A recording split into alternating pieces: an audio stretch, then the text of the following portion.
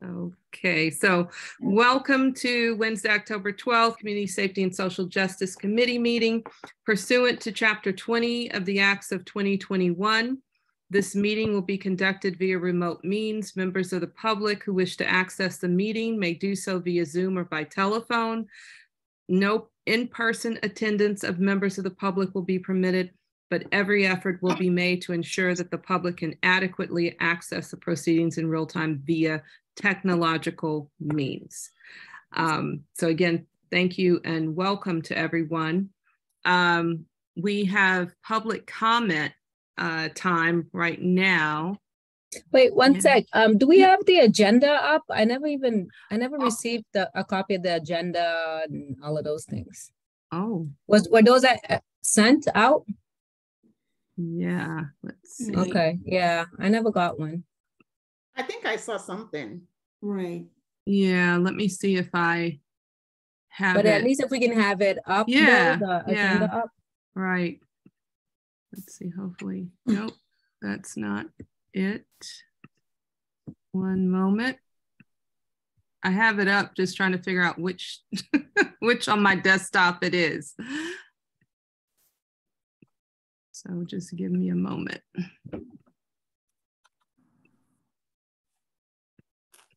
So many windows. Okay. Oh, right. So the meeting packet, I'll just, yeah, scroll Yeah. through it like that. Yeah, I never got it. I just went through my, my things again. So uh, that might be something to visit, like how are we to make sure that folks have the meeting packet? You know, Yeah, so I, I, this is still the wrong thing. One, go ahead and, oh, there it is, finally. right, so I, I, I think that things have um, not been running as smoothly because uh, Jen's been um, away. And so Angela and I have been s- splitting the responsibilities. So I will take responsibility for the packet uh, not being sent out, but I thought that Angela had sent out a link to the meeting and the packet to everyone. Um, but I'm sure that that's, you know, that that's was an error on our part if it did not reach you. Okay, thanks.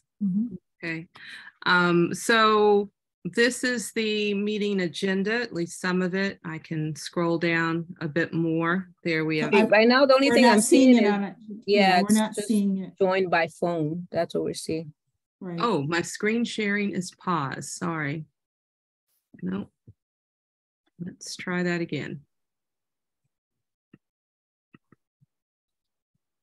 Can you see it now? Yep. Okay, sorry. Um, so just give you a moment to, to see what we, uh, have up for to, tonight. Um, let's see. So public comment is right now, and since I am showing the agenda, I can't go back easily to see who is in the audience, but I did see that there were 14, I guess, and that includes us. Right, so there are nine attendees. Um, and um, uh, Earl has his hand up. For So, public um, comment, because he'll be reporting out later. right, Yeah, so no other hands are up, but you, we can wait a second to see if anyone else has. um, I don't see any other hands raised for public comment. Okay, and just so the public knows, we have public comment at the start of the meeting. And then we revisit public comment uh, at the end of the meeting. I don't see it listed here in our agenda, but we normally include it. So I'm going to normally include it in this agenda. So just so the public knows, we have public comment now. And then um, before adjourning, we'll have public comment again. Okay, alrighty. So no hands up still? No hands up. Alrighty. So member reports. And that's for our group besides, um, again, Cress will be reporting out and DEI will be reporting out. This is for the members of the CSSJC.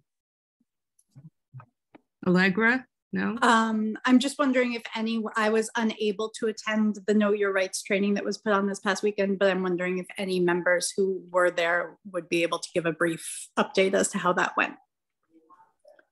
That would be great. Yes, Miss Pat.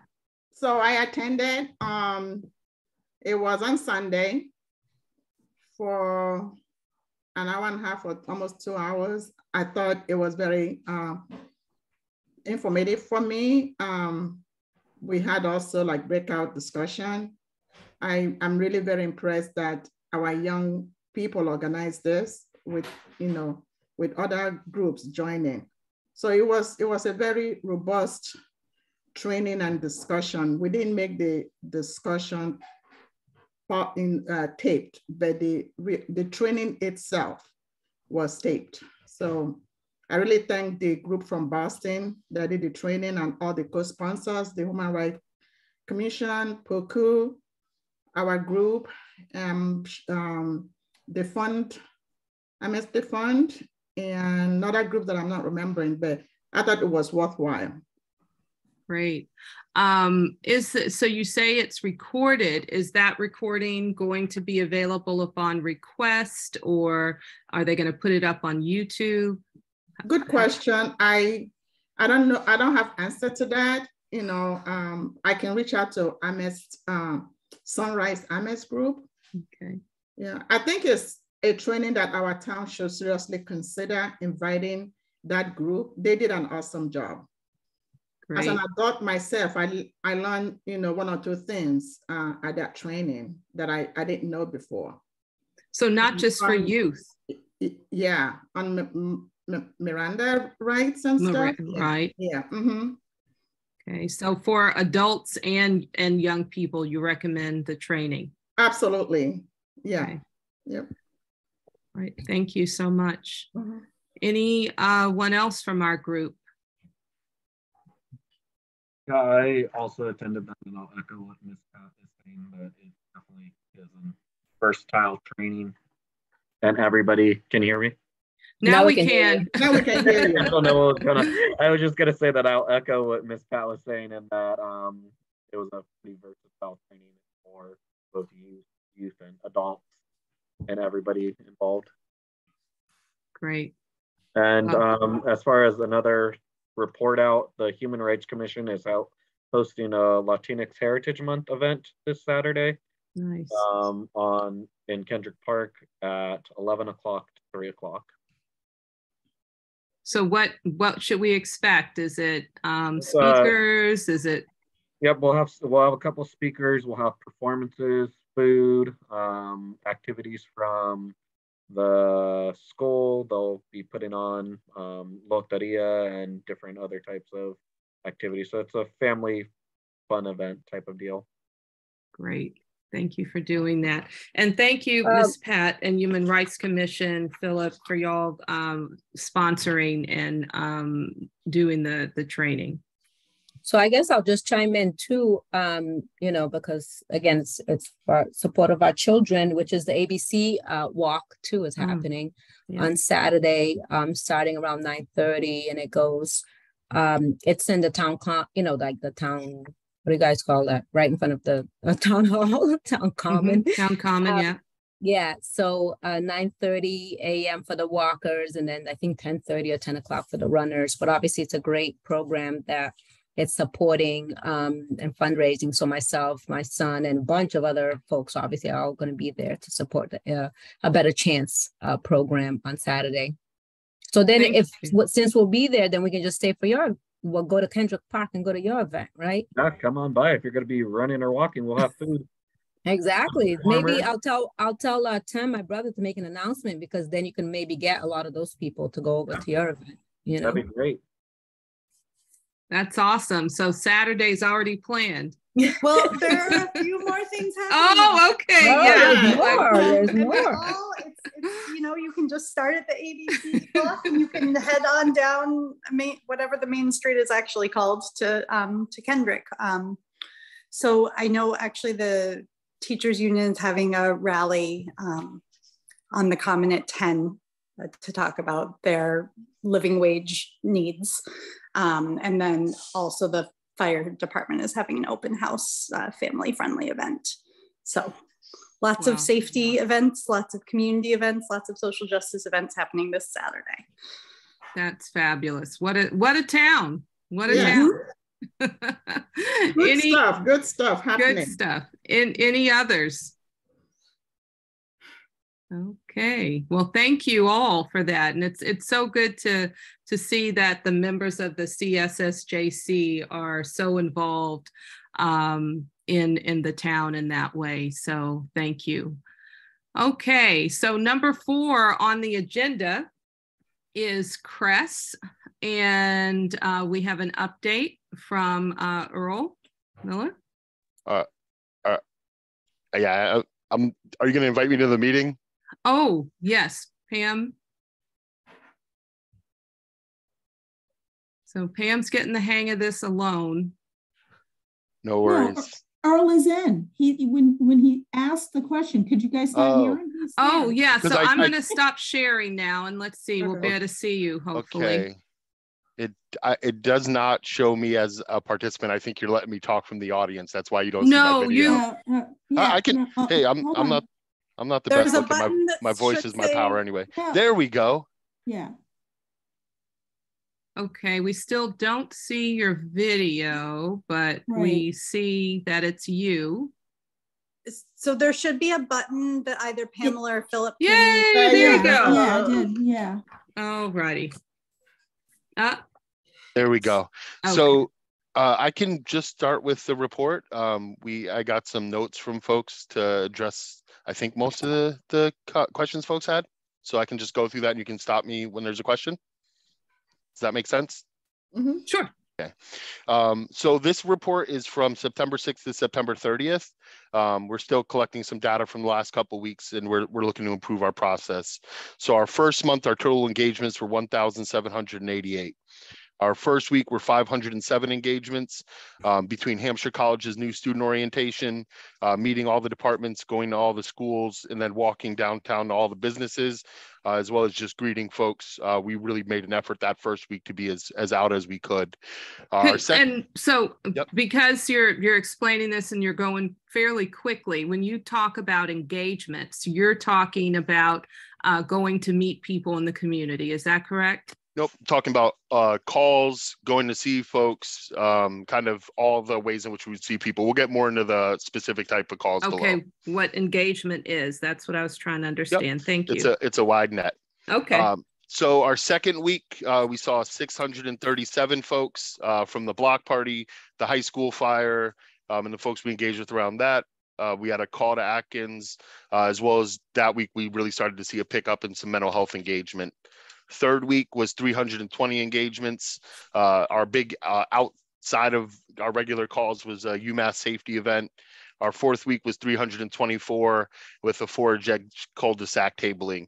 Um, it's important to note with those numbers, those first two weeks were students coming back. And so we really did make an effort to meet them as they arrived in town. Um, Amherst residents served. So this is individual calls. Um, obviously, a call might involve more than one person is 278. Um, and we had one call from dispatch. Um, and I can get deeper into that call uh, as we move down. Um, the issue with dispatch is a technical one.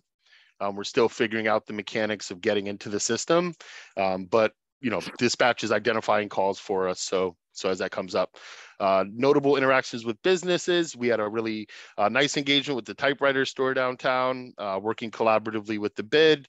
Uh, we were at the the mobile market at Mill River, um, and then we did some conflict de-escalation for some some local businesses. Um, notable interactions with uh, with other places in the town. Uh, the survival center was incredibly helpful in one issue we had um, from a single parent. I'll get more into that call below, um, but I just want to highlight that the survival center has been incredibly responsive to us. Um, the Amherst High School fire, we were asked to be there by the fire department, so appreciation for Chief Nelson for thinking of us. Um, we were engaged uh, with the library around a bullying incident. Um, and then we were able to support Craig's door around uh, an unfortunate uh, event that they happened that I'm I'm not able to share much more on. Um, our types of calls right now, um, we're doing a fair amount of wellness checks. um, mostly for seniors, uh, but we have had a couple where parents of students who've arrived in town have been concerned. Um, generally, those are just uh, a young person. One was at the Big E. Um, mental health calls, um, those are being driven often by neighborhoods. So we're finding that when we come in in the morning, uh, we we often have one or two neighbors from different parts of town uh, waiting for us, asking us to come support a neighbor. Uh, we're always glad to go do that. Um, just to clarify, one piece of the mental health calls that we we currently aren't able to take are calls that might result in a Section 12. Uh, we do not have the legal authority, uh, nor frankly do we think it would be within our bailiwick to be removing people forcibly from the community under any circumstances.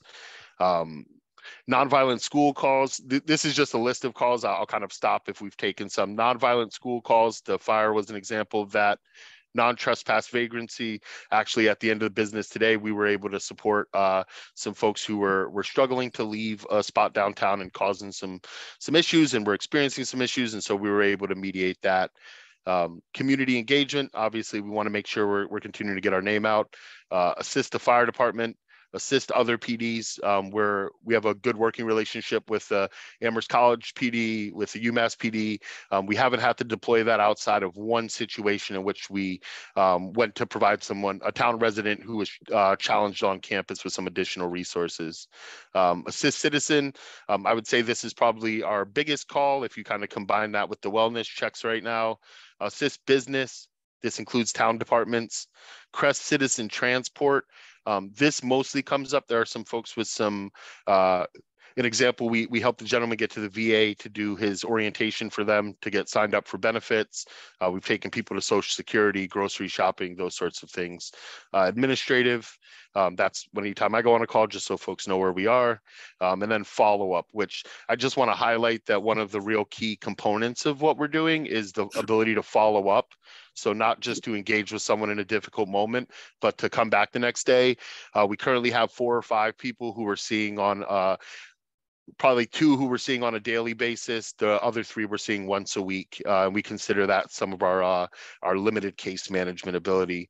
Uh, and then miscellaneous calls as determined by dispatch. Mike Curtin has been a part of this process since the implementation committee, um, and so he's really uh, looking for calls that might not neatly fit into one of those, but still might uh, result in us uh, going out.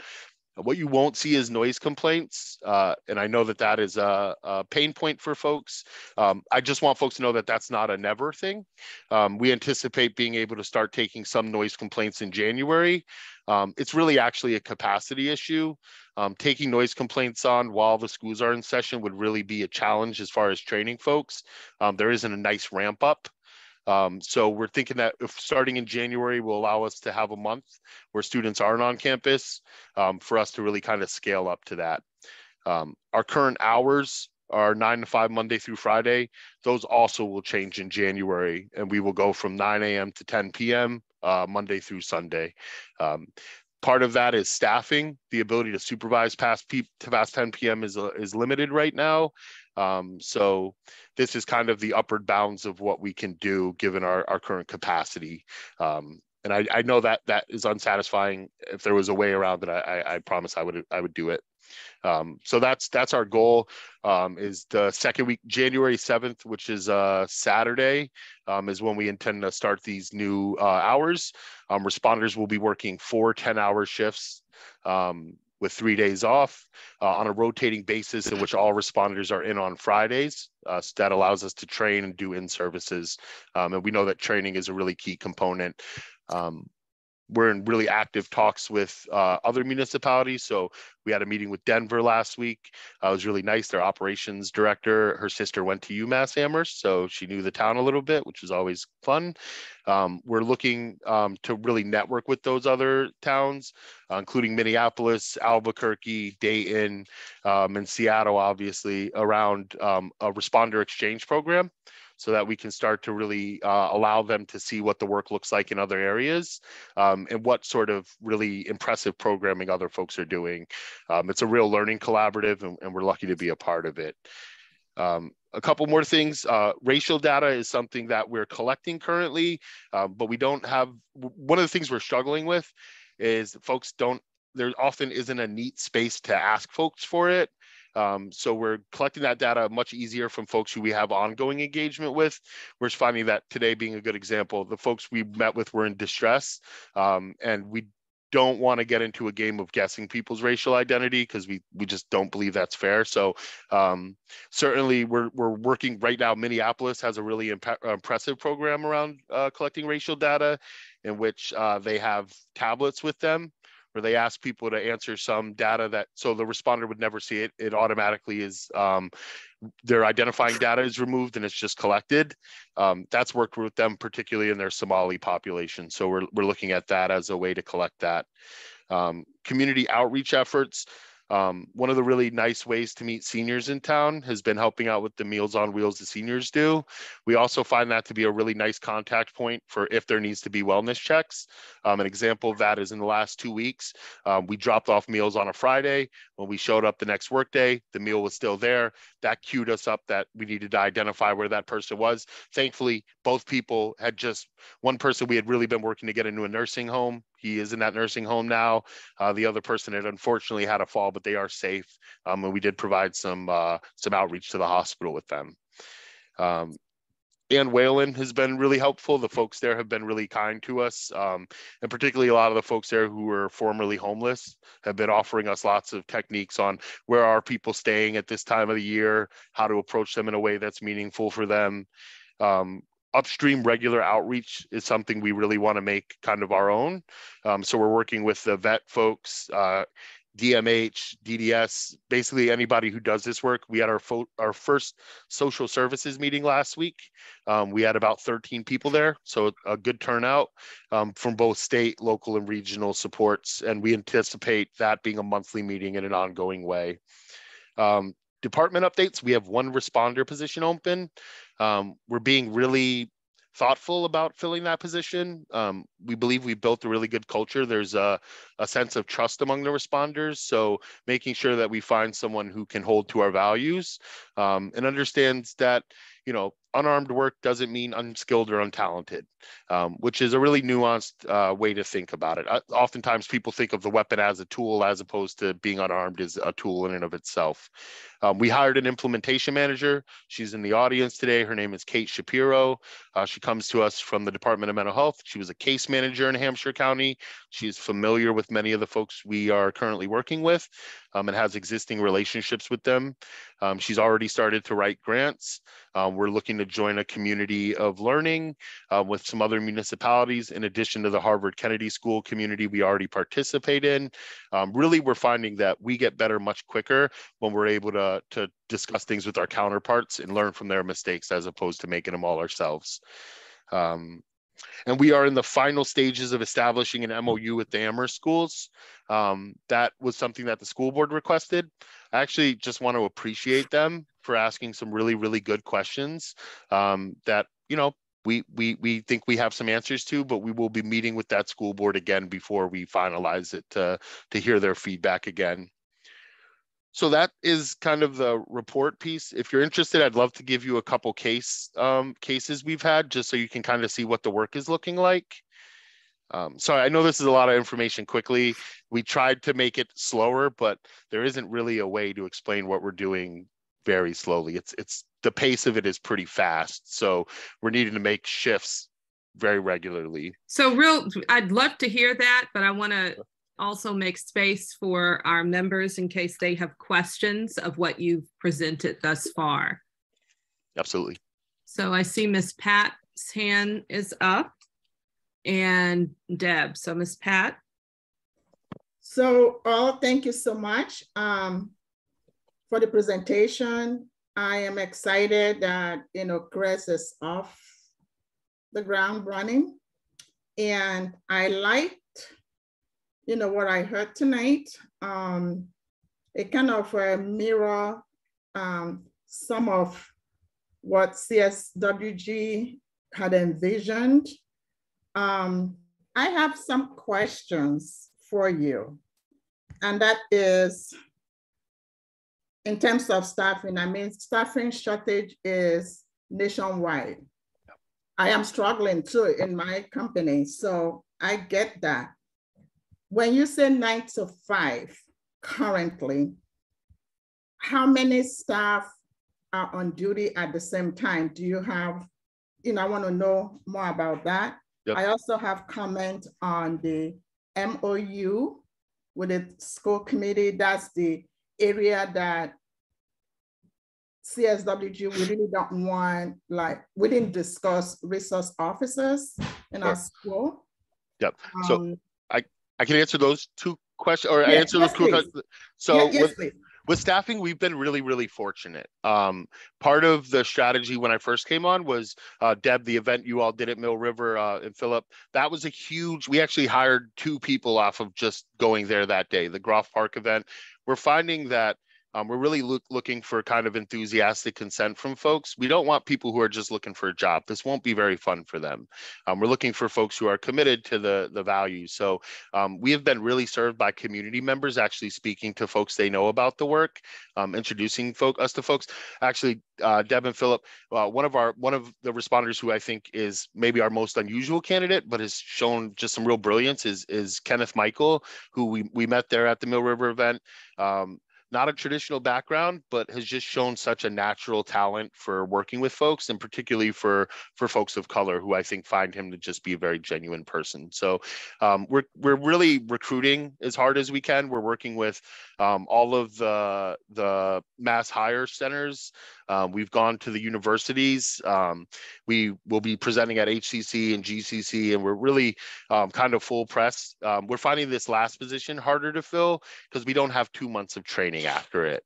So we really don't have the ability to hire someone super early in their learning curve at this point because they'll need to to be in the work a little sooner. So um, we we've worked with the fire department to develop a training program that I'm I'm really proud of that involves the person shadowing the teams. Um, as far as our our regular day to day scheduling, um, the way we have it right now is two teams are out doing engagement. They're either in a neighborhood talking to folks, they're at a business, they're at the survival center, they're at a, they're with people, um, kind of talking about the program, eliciting feedback, and just meeting folks. And we have found that that's been a real driver for us, just the kind of visibility.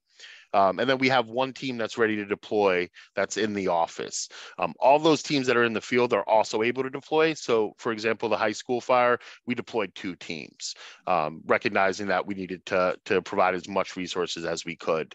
Um, and so that's that's our current makeup. Um, they're everybody like like most public safety departments, everybody has kind of multiple responsibilities.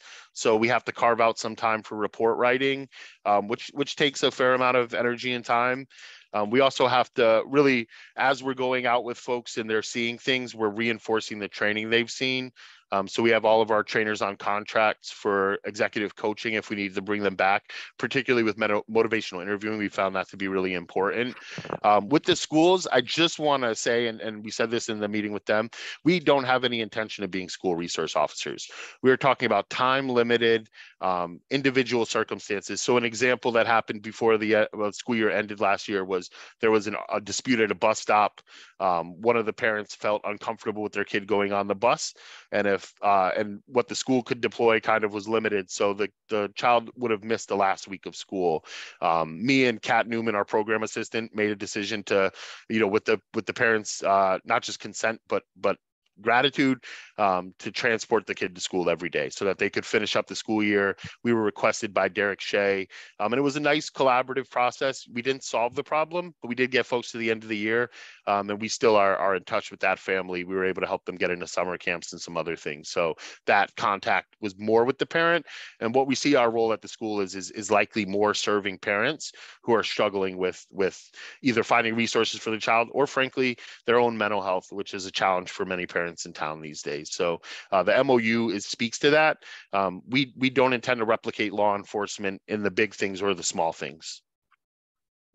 Okay, thank you. Thank Ms. you Pat? very much. Okay. Uh, Deb, All right, thanks Earl for that um, report. Obviously, you all are doing a lot, which I'm really excited to hear about. Um, I guess I just need some, you know, more clarification on some of the things that that you shared, um, and obviously making some points in in, in, regards to it.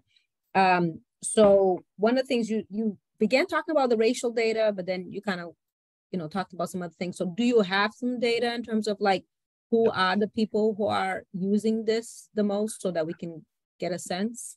Yeah, we have it. It's not. Uh, it is not ready for display right now. What I would say is we're seeing, you know, of the six calls we have, which are really kind of calls that required real follow up that would have been 911 calls. Um, four of the six were people of color. Okay. And um, and then so how are these calls coming in? I guess right because obviously when you know we were doing when we were conceptualizing the CSWG, we were conceptualizing them being able to have direct um, co- communication with you know with um, what is it with CRESS right and for them to be able to get dispatched and things like that. So I guess how is it how how are they able to you know how do they know that you all are there? How do they uh, get in touch with you all? Yeah, that's a great question. It's one that we we gra- grappled with and probably didn't solve until we were about three days in. It was pretty touch and go for a second. Um, so the way it works right now is um, probably the easiest one is folks show up to the Bangs Center um, and they just show up for an in-person kind of uh, unscheduled consult. We we always try to have someone in the office for that. There have been maybe three days in the six weeks we've been out where we've had everybody deployed simultaneously. Uh, we try to avoid that unless absolutely necessary. Um, so I have a phone, the admin folks have a phone, and then each responder team has a phone that they can take calls in directly. Um, the idea being that we have a, a responder who speaks Spanish. Folks want to speak directly to him. Um, they have a we have a shared voicemail, and then each response team has their own voicemail that folks can call. Um, everybody's emails are set up. Um, and frankly, I, I, I think, you know, I don't know if it's a pat on the back or something I'll live to regret, but I think my cell phone number has circulated pretty widely.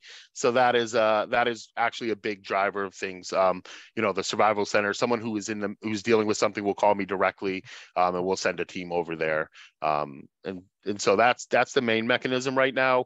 We're working to set up an online uh, place where people could send in, you know, for, for issues that don't require an immediate response, more kind of quality of life uh, challenges with neighbors, where folks can send things in and virtually, uh, send them in through through email, um, and eh, glad to take any other uh, thoughts on how folks might suggest that. We we really what one of the things we're realizing is there's no there's no there's no there's no problem of having too too many doors. We want folks to be able to get us any way they can. Um, and one of the ways that I'm glad that's really only been the last two weeks is folks stopping responders on the street to ask them to intervene in something. That's um, that's something I hope will will become a bigger driver that folks just recognize us and invite us in that way. Um, but it's really just started. Did that answer your um, question? Yeah, I mean, you know, I, I mm-hmm. know it's still in process. Obviously, you know, this is going to be a continual conversation. So um, you know, we'll, we'll continue to, to talk about that because one of the things too, and, and that'll be good to capture in the data would be in terms of folks like, you know, you just mentioned that there's someone that obviously speaks Spanish, but we know that there's a variety of different languages. So how are we outreaching to uh, our populations that speak all the different languages that, that we speak, right? Um, so how are we outreaching to them so that we know that they know about CRESS and that they feel comfortable to utilize CRESS? Um, so are we putting out information in different mediums and, and, and ways? Um, and we know, you know, obviously online component, that would be great, but we know that a lot of that population that we're trying to reach, which are the marginalized population, which are the ones that are, are not going to be trusting really of CRESS, right, until you build a relationship, are going to be the ones that are going to really want to know and want to uh, be able to communicate in their own language to be able to connect to CRESS. So um, any ideas in terms of that, how, how that's going to take place? Yeah, so two to three days a week, they're they're going into neighborhoods and just speaking to folks when they're outside. That's something we think will continue on permanently um, for folks who don't have phones. Or we're finding we're meeting a lot of folks who are aren't just homeless but housing insecure. Right, if you're struggling to pay your rent, the phone goes before the rent does. Um, mm-hmm and so being out there um, you know we're, we're, one of the things we're grappling with is is social media and whether or not that's a thing we should do or shouldn't do. I think there's big pros and there's big cons. I'd really be interested in what what the group thinks of that. Um, and it's it's actually a, a really divided thing uh, nationally. Some do it and find it really helpful. Some do it and find it to be onerous. Some don't do it and and just kind of don't have any info. So um, I think that's one venue that probably could be big, uh, but I worry about you know it's just it's an it's an inartful form. Yeah, yeah. Even though, like you said, right, it is the way that that a lot of people are using it, especially our young people, and especially if we want to outreach the young people that may need CRESS. um, it would be a, a good way to at least, um, you know, not to say you're going to be Yeah. on all the platforms, but maybe start on one of the platforms that the young people are on and kind of test it, do like a pilot uh, phase to kind of see how it goes and then kind of take it from there. Uh, but I think with this day and age, I mean, I, I don't know if there's any way around it, right? Not not to use social media. It's just how do we use it uh, to the best way possible to to really engage and, and be able to get people to to come on board. We're getting a Um, nice trickle of young people just by having candy in the office. Um, so it's just like the candy, candy people, candy man, candy. Gotta woman, feed 'em. Candy, candy uh, you know. Um, exactly. Um, but two really last quick ones is around um vehicles. Um, you know, whether you all have vehicles, um, because I know that that was either coming or something like that. And then lastly, so I'll let you answer that. But lastly, I am glad to hear that you all are going to ramp up and and hopefully be able to take in noise complaints because um, that was part of what um, CSWG was interested in. Is that anything that was uh, non, you know, violent, non-criminal, um, that CRESS would um, take care of, and those complaints will fall into that bailiwick. I mean, I do understand that obviously that might be a big chunk, of, you know, to take in. However, um, hopefully you all will figure that out so that um, you know uh, you, can get to that point to, to address them. To Yeah, address them. I want to be super clear. I think my folks can handle it. We we got very lucky. I think the the talent of the folks we have. Uh, I would put my team against any team in the country in terms of um, the kind of depth of compassion they have. Our first call lasted five hours. Um, and they sat in someone's living room and just listened to a lot of pain, a lot of uh, a black family struggling with aging at home, dealing with lots of systemic issues. Um, and we were able to resolve those, but that's not the thing I'm most proud of. The thing I'm most proud of is that five hours that they sat there and they gave them every bit of attention they wanted until they were done. Uh, the vehicles um, are actually uh, the issue is more in the market, uh, being able to get procure them off of the state list. Um, we are currently actively outreaching. Um, fiscal already outreached to I believe over 40 uh, car lots. Uh, we're starting to reach out to car lots on the other side of Boston. Um, this is an issue kind of nationally with just that that uh, backup. Uh, currently, we're using the town car, the electric vehicle, um, and the senior center is allowing us to use a van, which has been really helpful um, in getting groceries for folks. So we are mobile. Our folks are not in their own cars traveling. They are in cars that say Amherst. Um, and as soon as we're able to procure the cars, uh, the listed, the state list had told us that we we should expect them around November. Um, I, I wouldn't bet a ton on that, but uh, you know we're we're doing everything we can, and I just want to appreciate Sean Mangano, who has spent a lot of his time and other folks' time there, uh, aggressively pursuing vehicles. We know uh, just for our, even our defibrillators, our laptops, until we get vehicles that we own, um, we're not able to really use those resources. So it um, it is a big step for us, but it's it's the market right now that's holding us back. Okay. The funding Thank is you. there. Yeah. Thank you. Thank you. Um, I have a couple of questions or, or follow-ups and um, it's good to hear that the phones are working. So it sounds like the first three days had to do with the, the phone issue um, that I was particularly concerned about in calling Amherst Media, and then it would end up going to uh, CRESS. So that has been cleared. Yes, it was cleared the same day. Okay, great.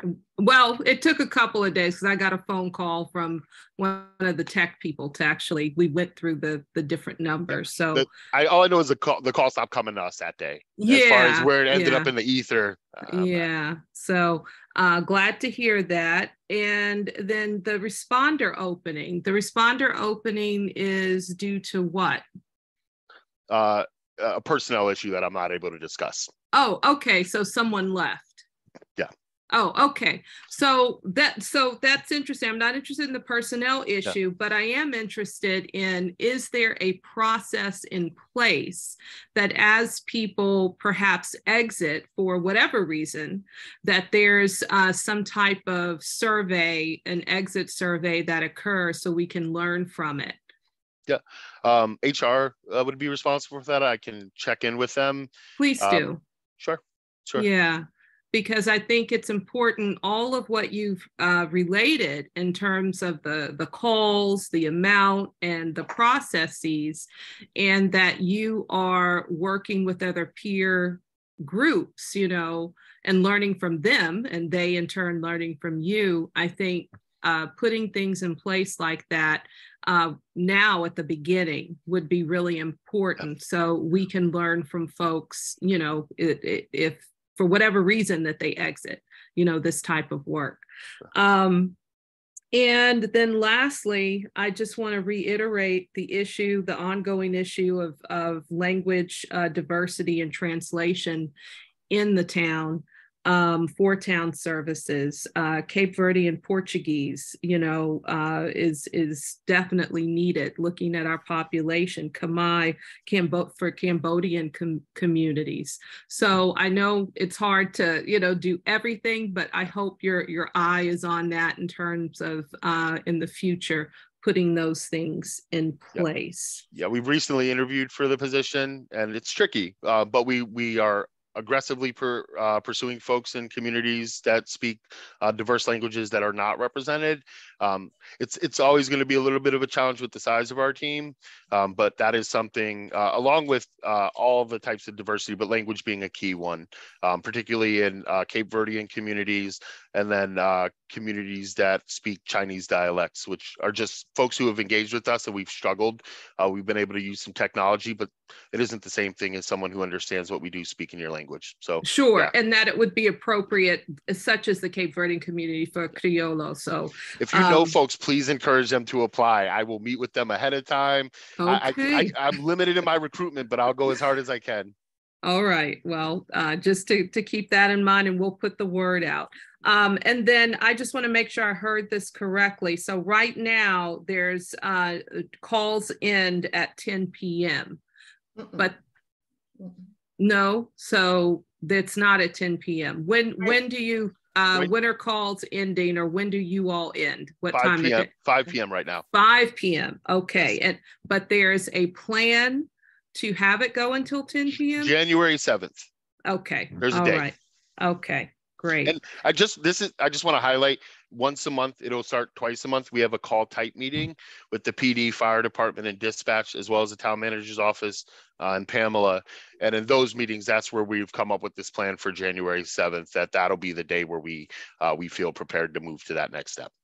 Great. And then lastly, in terms of social media, for it's I think that's critical for younger um, younger people who are in need um, that's how they communicate uh, through messenger through you know their dms or whatever. Obviously i'm an old fogey so i'm not even Me saying too. it right but but i do i am aware that that's how they communicate. So just like you have folks hired to you know answer uh, the phone um, i think it would be critically important to have someone hired to just work the social media right? So um, that's that's all I have to say. Uh, Philip. I think Allegra was before me. Oh, I didn't see. I can't. I can't see. I'm sorry. Who was uh, before you?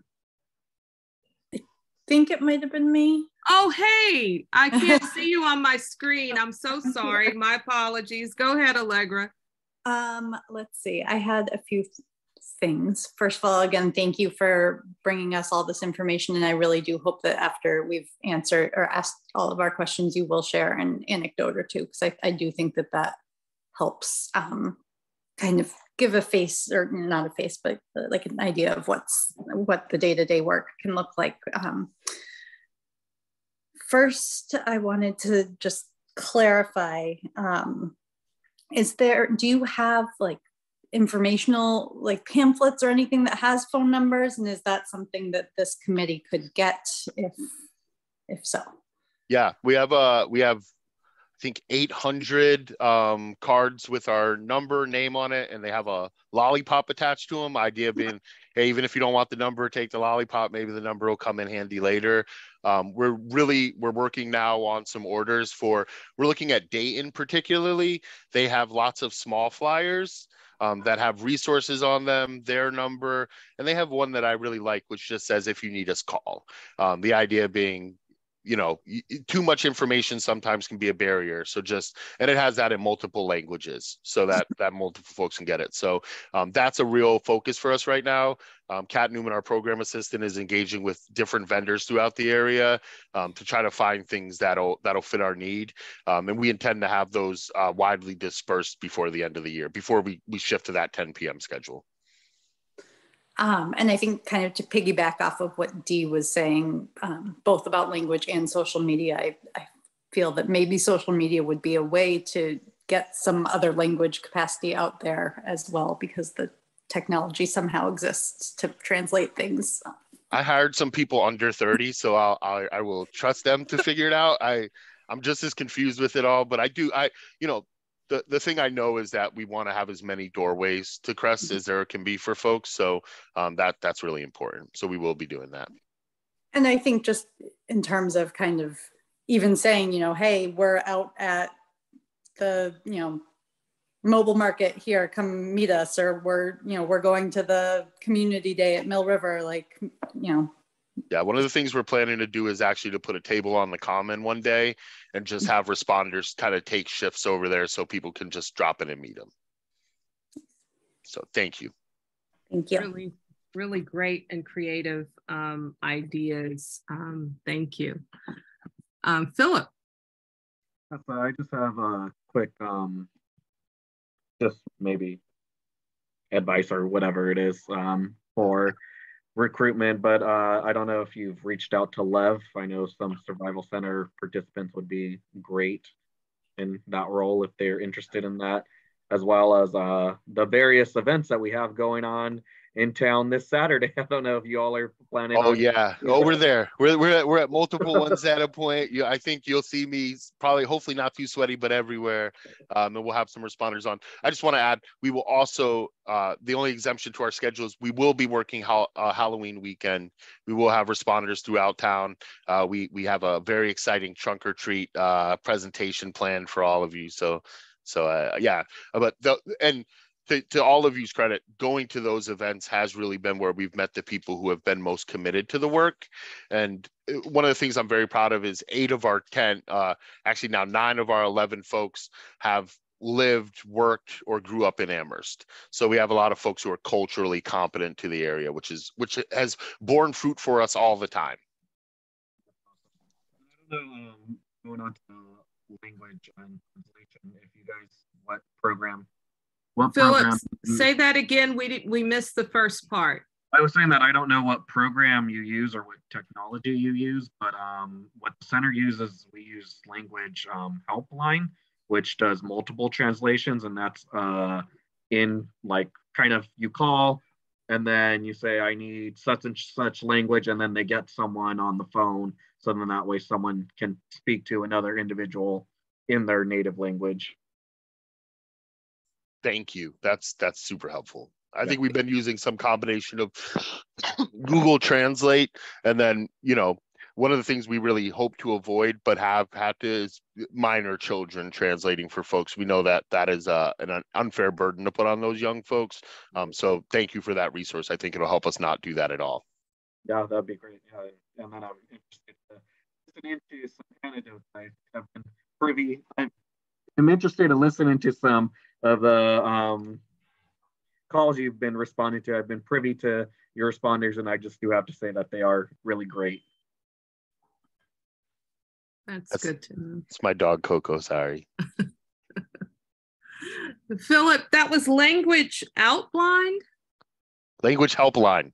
I Thank you. It. It's like it don't worry, I, am on okay. it. Okay, all right, great. All right. Anyone? Oh, Miss Pat, and then. Okay. I know we have a full agenda, but um, it, will there be a dedicated phone number for CRESS in the future, are we going to have a depart, um, are we going to have dispatch center for CRESS, or is it still going to be going through the, you know, what we currently have? What is the future plan? So the answer to that is uh, yes to the first part. Um, the dedicated number is 413 259 3370. Um, my number is seven one. So if you get it wrong by one, you'll you'll still get someone. Um, and the first, I think, three or four numbers after that are also folks in our department. Um, as far as dispatch, um, there I've not been privy to any conversations about that. Obviously, it would be a decision in the budgeting process.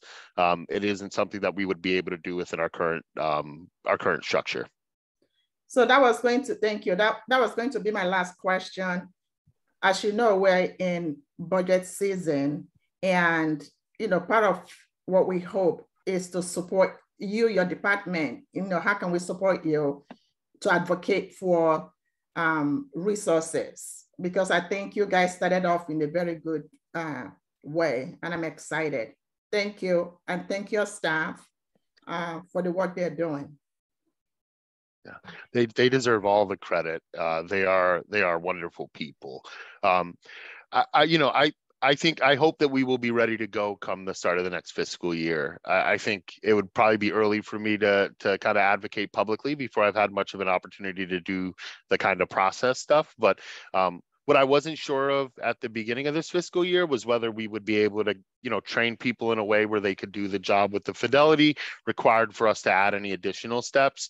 Um, I do now feel confident that, you know, come July, we will be able to add components to oversee them. Um, and, you know, I think our biggest need is pretty clear to see. It's uh, me supervising 10 people is challenging. Um, not a not a lot of wiggle room and, and it'll require me to to to work a pretty strenuous schedule for a, a period of time. So um, you know but i you know I, I, think i'm gonna i'm gonna advocate internally and I, I, do i do believe and hope that folks will will be supportive of us. So i'm sorry if that was a, i'm sorry if that was a milk toast answer. I don't no, know that i could give a better one. No it's all good. I think you need an assistant director. That or a cloning machine well, definitely an assistant director. Yeah. It, can, assistant director yeah, for press. You can't do it all. Yeah. You can't. No, you can't. And you, you're going to get burnt out if you don't have time off. And, and exactly. Like it just won't work. Yeah. Uh, one, one quick little thing too, in terms of like when you were talking about like the little flyers and stuff like that. One thing that I know like Cooley does and some of the other kind of like clinics do, they send those little like uh, magnets because I know I have them like right on the on my fridge and stuff like that with their numbers. So that's just a quick way to kind of just boom have it right there because i know i look at at yes uh, we are we are all like at community safety day i know that that was a challenge. What i saw was a lot of kids including my own walking around in fire hats. So we're looking at a lot of things that you know i i you know shirts things that that folks can have. Um, one of the i'm really excited kat newman is uh, an absolute visionary. We are lucky to have her. Um, so for homeless folks, in lieu of giving out business cards with our number on it, uh, we're going to get our number printed on socks.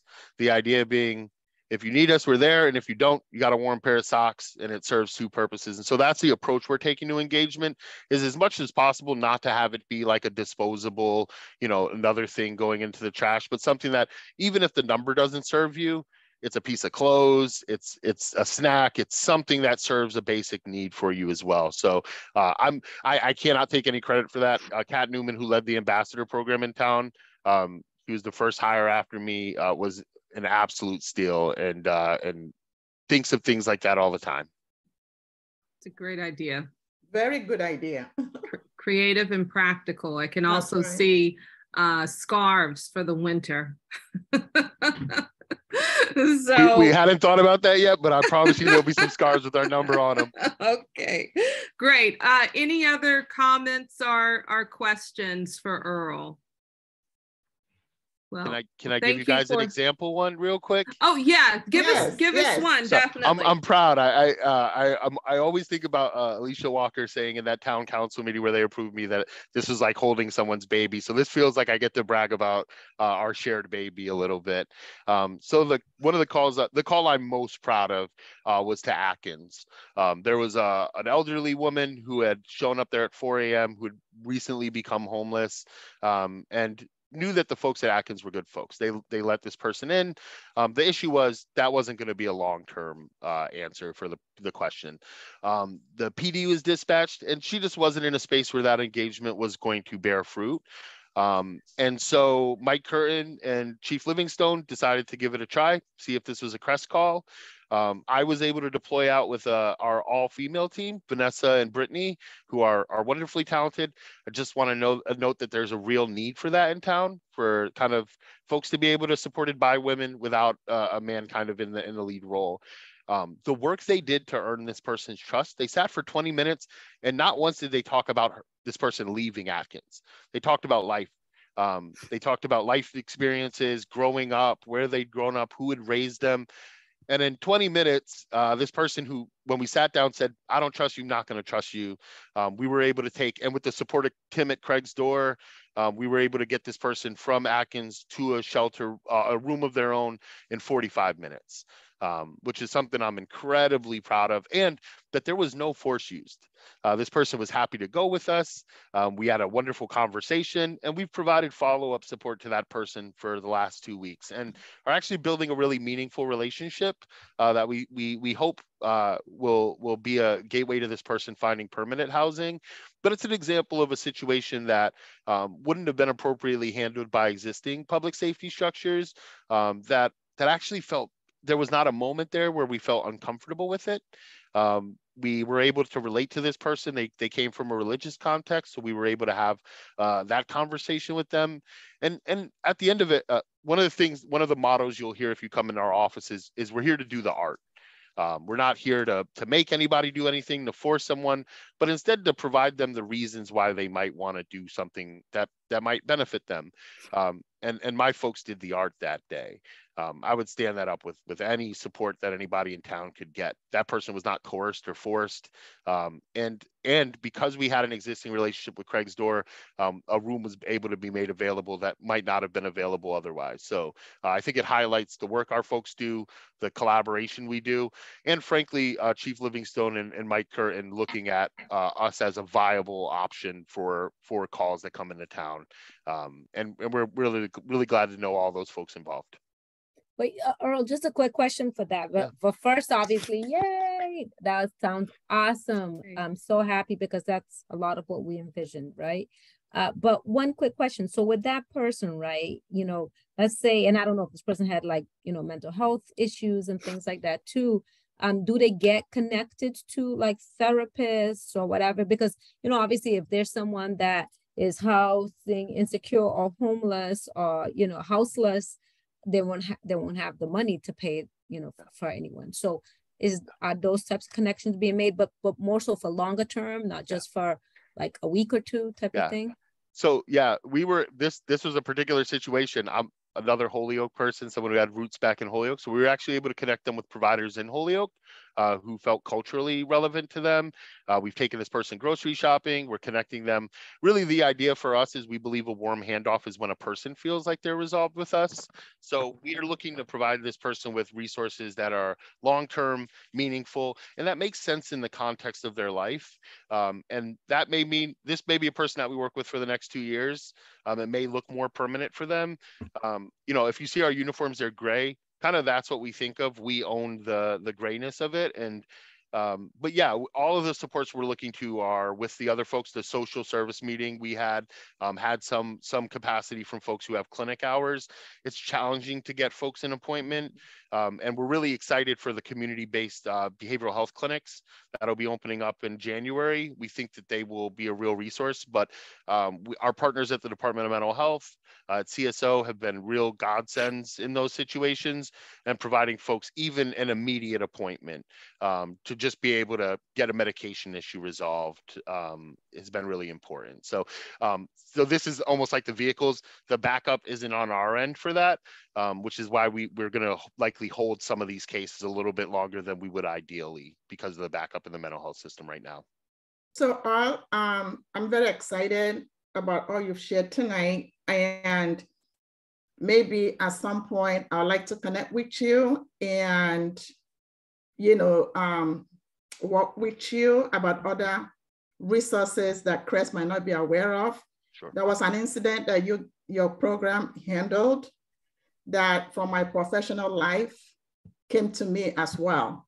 So there might be some resources that I feel that our resident might benefit from in the future, but we can talk that offline. Yeah, the, the only thing I know is that I don't know what I don't know. So mm-hmm. anytime something like that comes up where folks think we might miss a resource, please call us. I just want to highlight quickly one other short call, which is we actually did a follow-up call at the Survival Center for someone who had experienced some racial animus from someone there. Uh, we weren't there to resolve the issue, but really for the person to feel heard right to have a, a, a person of color show up yes, and really bear bear witness mm-hmm. to uh, Pamela, you might want to mute D. Oh, there we. Oh, there we go. Oh, sorry. Um, so really, just to hold space for this person. That's not something I kind of had envisioned, but I got to be the person to go out and do that, and I found it to be such a rich experience that it's something we're adding as we're talking to provide to to agencies and business in town. That there is actually a real potential follow up and mediation that doesn't involve the aggressor that involves the space and the person who's staying there and how do we kind of not just mend those fences but talk about how we might handle those things differently and then additionally so that person doesn't have to bear the weight of of reaching out to other public safety infrastructures in town uh, kind of taking some information and then passing that off to limit that exposure for a person I, the survival center has been a really good partner. I'm not just saying that because you're here, Philip, but we have found that the the folks we work with, there's a big overlap, and you know, just being able to bring them there and get them a meal um, is huge. But that that support post um, racial aggression is something that we find uh, I found actually to be really um, just a nice experience to meet someone, but also to kind of bear witness to their pain, and that's a very specific type of pain. Uh, today we had the first incident where a responder was called the slur by someone they re- responded to, um, and, and we we are working with Pamela and everyone in town to provide kind of meaningful supports when those things come up. But unfortunately, they do, and so we I just want folks know, I know that CSWG report speaks to a lot. That anti-racism piece is something that we think about at the end, the beginning and end of every meeting we have, as we do every initiative. Who are we missing? And and then also the other side of that, how do we not overserve communities uh, of color because that is uh, an issue for folks. So one of the things I just want to say to you that uh, uh, we've said to the school board is we are currently writing a policy about non-surveillance. Uh, we will not participate in any surveillance, uh, any predictive policing. Um, that is not our work, and it will not become our work. So I just want to, that's the sort of policy work we're, we're being explicit about right now. That's good to know, Earl. Um, so you're saying that's being written. And sorry, I it's no. like going no, no. on in my house, but um, so um, that's being written into the MOU with the schools. No, that's being written into our policies. Oh, and your policy, so into period. our policies, okay, yeah. So great. even in those MOUs, our folk, we're working on probably a dozen MOUs with okay. other municipalities and the, the, colleges, but all of them will will be held to that policy. We do not do surveillance or predictive policing. Uh, it is not something that that fits well with us. Is in our intention or our mission. Great. I'm glad you're being mindful and thoughtful um, around that. So thank you again um, for your very uh, detailed report. Let it me is... know if you want less next time. We could no, we could no, go no, for two hours. It. We okay. love it. So I, I, just want to thank Chalo, um, one of our responders who wrote that report, who got that to me. I'm very proud of him. Someone who who has really made the data his own and um, and and deserves praise. Wonderful, wonderful. Yeah, we definitely want this continued conversation with you. We, we will generate that report on a monthly basis for you moving forward. Great, great. I think all the data is important, but the the anecdotal stories and interactions with the community are. I'd love to bring a responder here to to talk about what the work has felt like yeah, for them at some point too. Great, maybe next yeah. report. Maybe next report. That'd be fantastic. Yeah. Yeah, and and also you know, remember we're here as a resource too. So if you all do run into any roadblocks, any issues, yeah, anything that comes up that you all need support, make sure, you know, you don't have to wait a month down the road, you Yeah, know. just- hiring, hiring, hiring. If you know a great person and you're waiting, tell them to come on now. I think we pay a decent salary. It's a union job, and I'm I'm committed to one of these folks getting a pension at the end of it. Well, so um, email us the, um, if, if that could be shared, like the Yes. responder position, um, that would be good, because then I can share it with my networks, especially around Cape Verdean, Portuguese speaking folks that you said you want. I mean, I could share with my network, so. we will we will get me- that to you tomorrow. Posting. Yeah, absolutely. Thank you. Great, thank you. Okay, so let us continue in our, our agenda here. Uh, This is good. I feel good. I know, it's, it's really great to Yes. hear how well this is going and not to say there aren't, you know, challenges, Yeah. but they, they seem to be working through them. Yep. Um, so, a number five on our agenda is the town council meeting preparation and. Were uh, we, oops, sorry. sorry. Were we gonna get a DEI Oh, report? as that's right. Oh, well, oh, yes, I'm so sorry. I didn't mean to skip you, Pam. It just, it's like within that same line. So Right, forgive that's okay. me. I, I actually have been treading water for the last few weeks, so I don't have a lot to report on anyway. So that's, it's fine. Um, um, that I'll just take a, a short amount of time. So, uh, I've been supporting the HRC. We had a retreat a couple of weeks ago, looking at their bylaws. I think that that went really well. And we're going to propose some changes there. Um, I've done some community engagement with Hampshire College, with UMass, and with Amherst College, um, meeting folks there. So today met with the equivalent of the uh, Chief Diversity Officer for um, Hampshire College, uh, the neighborhood resource um, groups that Earl mentioned that his responders did. I also did two of the those three events and then connected with another colleague at, um, at Hampshire College who um, actually has uh, uh, is looking for some placements for some students that she volunteers, well, to some volunteer placements for some students. So um, I, I don't know if you guys are familiar with the Mellon Mays um, undergraduate fellowship. It's a, it is a program that's funded by the Mellon Foundation that supports undergraduate students um, who are interested in the academy. And uh, it's a small cohort, cohort generally um, highly motivated uh, academic students. And um, Rosemary, my colleague, works with this group and is looking for some, some volunteer placements or internships or other opportunities for them to work um, with the city and town and different groups. So um, so that was the purpose of our uh, meeting. I've been uh, chairing the HR director search, which is coming to a close. We've uh, recommended three individuals that will be meeting. Uh, well, Paul's already met with one. We'll meet with the other, the remaining two um, on Friday of this week. Um, working a little bit with Earl on his search for the CRESS responder.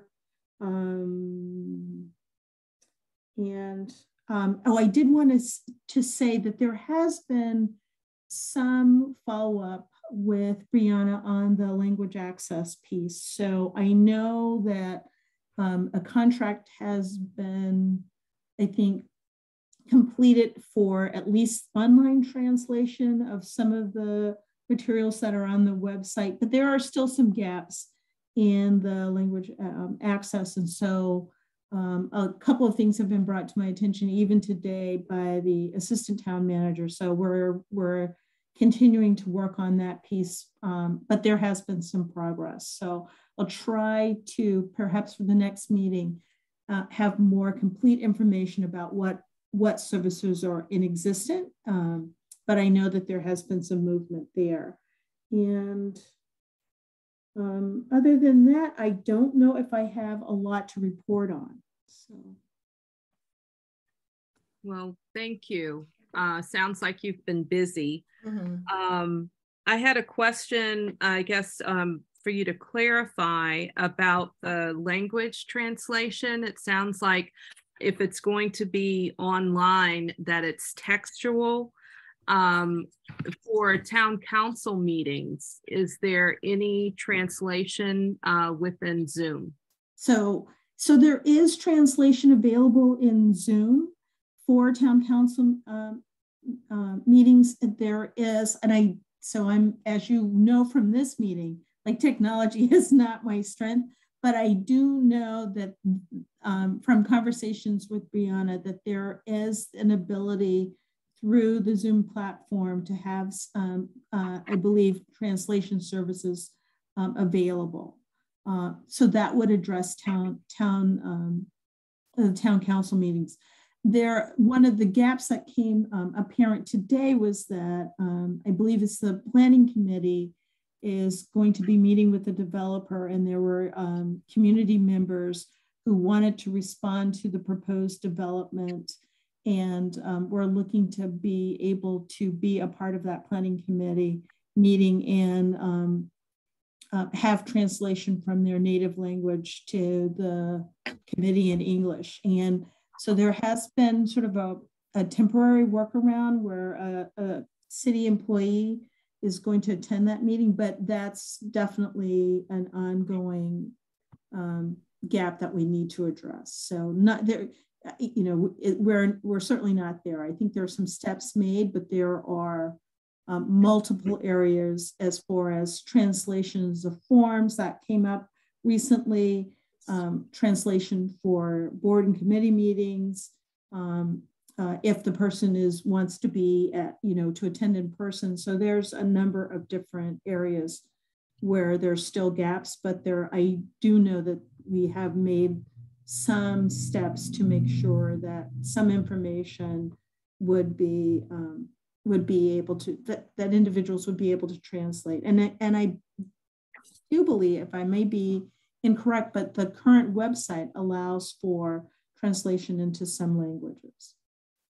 Right. It, it does. So thank you for that. Um, I, you know, I just want to emphasize if if we are to have equity or at least some level of uh, equitable access, we must this this has to be this year. We have to have translation of town council meetings at the very least for our residents uh, to be able to understand and participate um, and engage with what's going on. So I know you're working on it. Sounds like Brianna is working on it with you.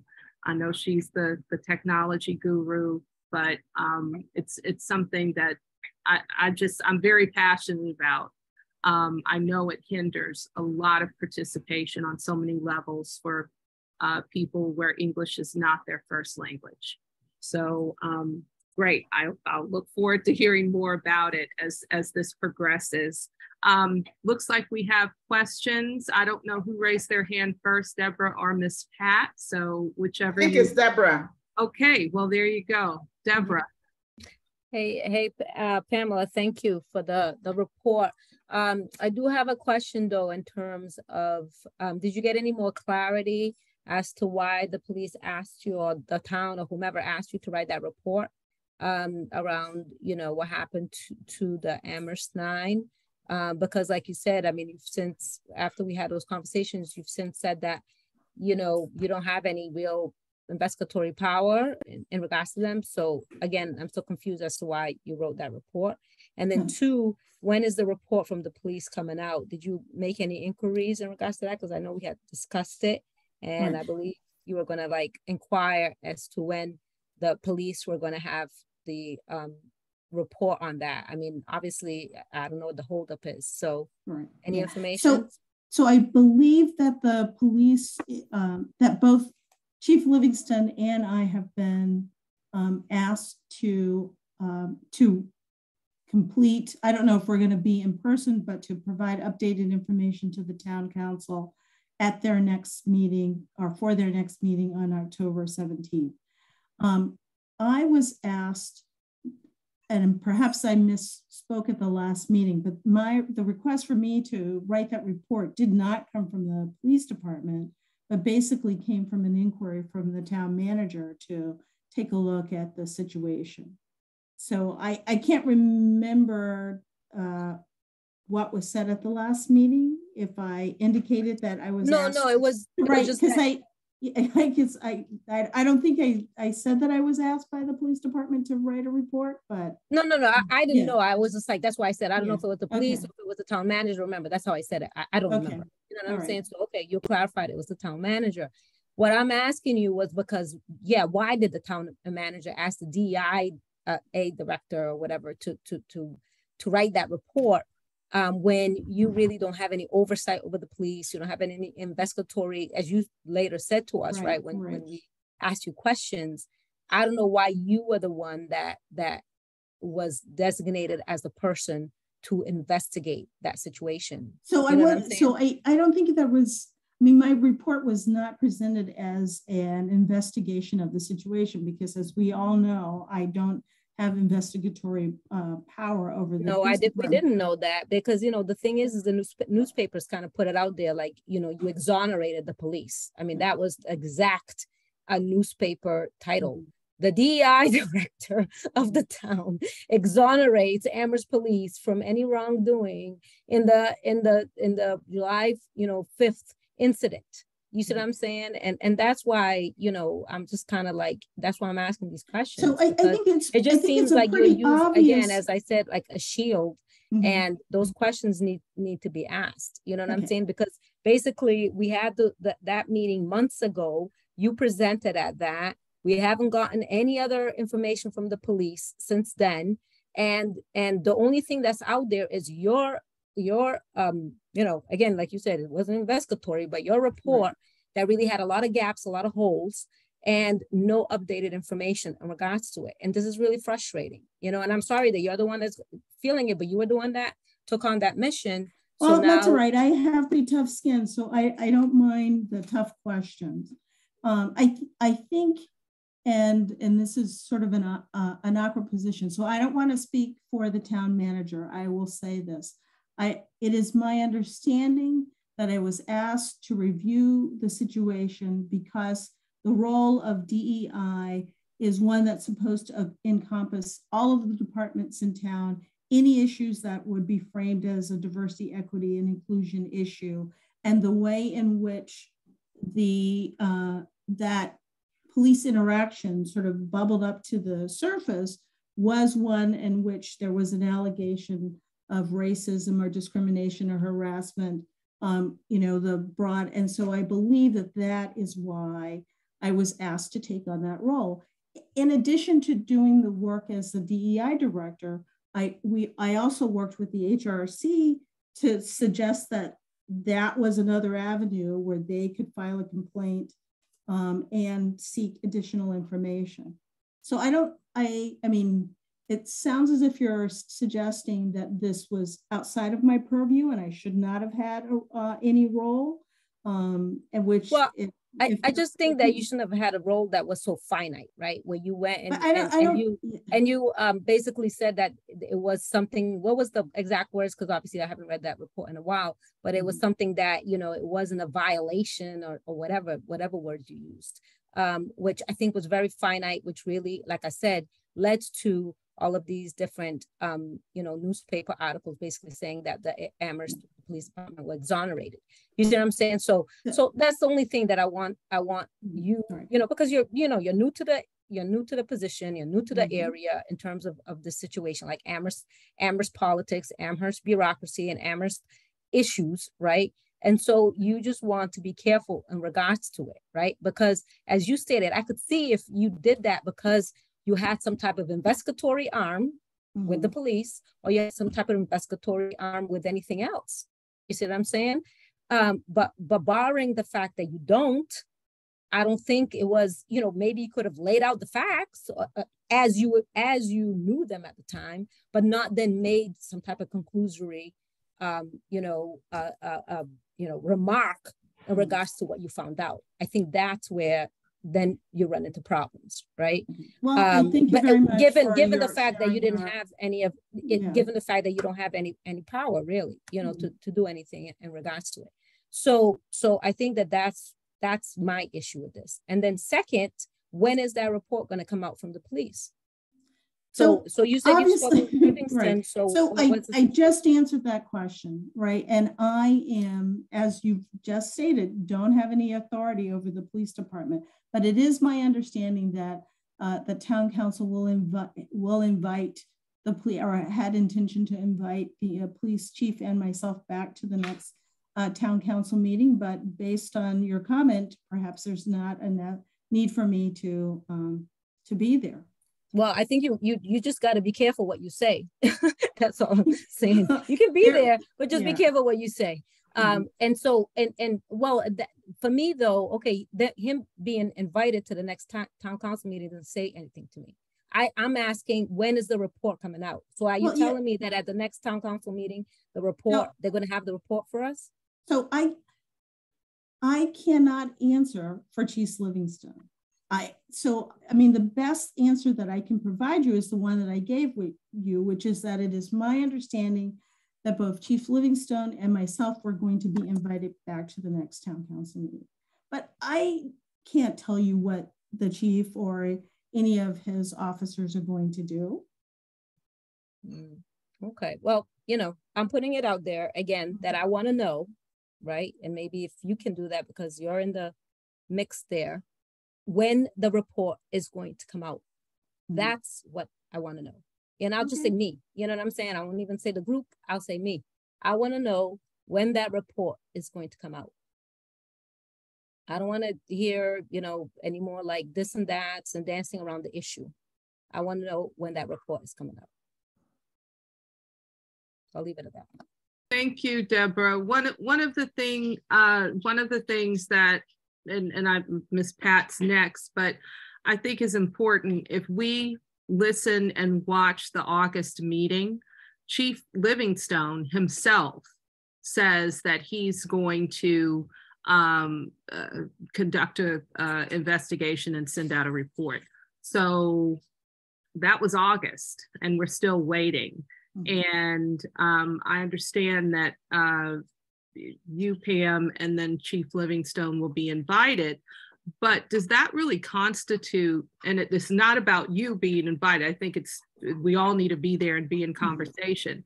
But does Chief Livingstone appearing at the town council, does that constitute a report? So uh, you're asking a question that I, I don't have the ability to. And, and really. I'm asking it because it, because it, I mean, the, per, the only person who could answer for Yes. Chief Livingstone is Chief Livingstone. Exactly. And So I I'm, can't, right. right, so I, I can't answer for him. Right. I, I, I can't dictate or give a date or specify what he or his officers intend to do or what their, what date they're going to, you know, provide a report. right. I can only provide you with the information that I have, which I have done. And, and I appreciate that. I, I think it's more important that we as a CSSJC ask that, excuse me, openly Mhm. uh, for, for not only to, to satisfy our mission, but for the community. Mhm. Where is the report, Chief Livingstone, that you said uh, you were going to do in August? So there, there's that. And I'll go on to Miss Pat. So Miss Pamela, thank you for the report. Um, I'm glad that you're, you know, trying to engage with different um, stakeholders in our town and the area colleges. Thank you for your report. Um, I know you're super busy. It's a uh, DEI department is one of the most important department in our town. All departments are also important. So I appreciate the work that you do. So I have two quick questions, and that is, in our last CSJ meeting, I had mentioned um, in terms of the uh, Amherst Nine and their family statements, it was also delivered to it, uh, to the Human Rights Commission. Do you know during the retreat, perhaps maybe Philip can um, tell us um, what was the document, you know, discussed um, with the bylaw that HRC is proposing, would that give them more power to take more action in future discrimination complaints So- in our town? So the the uh, uh, incident and the letter was discussed at the um, at the retreat. I don't believe that the letter, letters were were read in their entirety, but they were read at the last HRC meeting, and so that was part of the discussion. Um, the bylaws that we discussed looked at some procedural issues so, and would seek to clarify some of the powers that the HRC, the Human Rights Commission would have. So one of the things that we discussed would be, um, we discuss whether, uh, what was the time frame from a complaint coming in and um, a response coming out to the HRC. We discussed um, whether um, the respondent in a complaint would be notified immediately upon a complaint being um, filed. We um, talked about um, looking at the language, the sort of the, I what I'm going to broadly classify as the equity language in town, like um, talking about the affirmative action plan, the EEO policy, the DEI statement to see if they were uniform. And, and we also said uh, very clearly that this was just the beginning of the conversation. Like we, the, the Human Rights Commission knows that they will need to spend more time discussing um, the changes that are made. Uh, and I had provided the Human Rights Commission prior to the retreat a document that looked at the way in which other human rights commissions operate around the state. So, for example, I believe it might be the city of Lynn or maybe the city of Beverly, where the Human Rights Commission only meets four times a, a year and they only provide like informational, um, you know, to the town residents. And we can contrast that with like the city of Cambridge, where their Human Rights Commission is staffed with attorneys and they actually have, you know, um, the full authority to litigate um, cases and, uh, you know, um, and sort of said, you know, where where's the capacity for the town of Amherst? And I suggested that we look very closely at the town of Arlington. The Arlington DEI director is a colleague, and um, I looked um, at some of their bylaws to see if they would if they would be helpful for um, providing a model for how we might operate or how the Human Rights Commission might operate in addition to that, um, also pointed out for the town of Arlington that there's some things that I that you know we wouldn't want to adopt. We might adopt part or not or not part. So I I mean I can I'll stop there and let Philip uh, perhaps provide more information since he was at the retreat. If I may finish up my question and I will shut up. Is that okay? Oh, sure. Okay. Please. So so um something that has really bothered me, and I think, you know, I think that HR um, Human Rights Commission uh, commissioners should be paid stipend, like CS, like us. They should be paid stipend for their time. I wonder if that was even discussed at the retreat. It was not discussed at the retreat.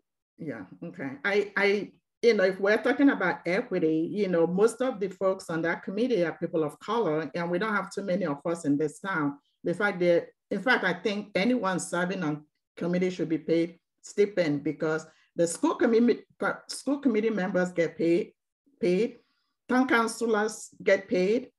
We get some stipend. I think it should be across the board. If anybody decide that they don't want it, they can donate the money. But um, I think it's something that if you want to recruit more diverse people in with HRC is something that, you know, the town manager should consider to, to give stipend to them. Uh, that's all I have to say, right? Oh, one last thing, and it's not part of your report. It's actually good thing depending on who, you know, um, I read in town manager's report that our town is collaborating with my ancestral country, Nigeria, uh, government. I don't know if you're part of that, but it seems like Brianna, the communication director, is involved. I read that.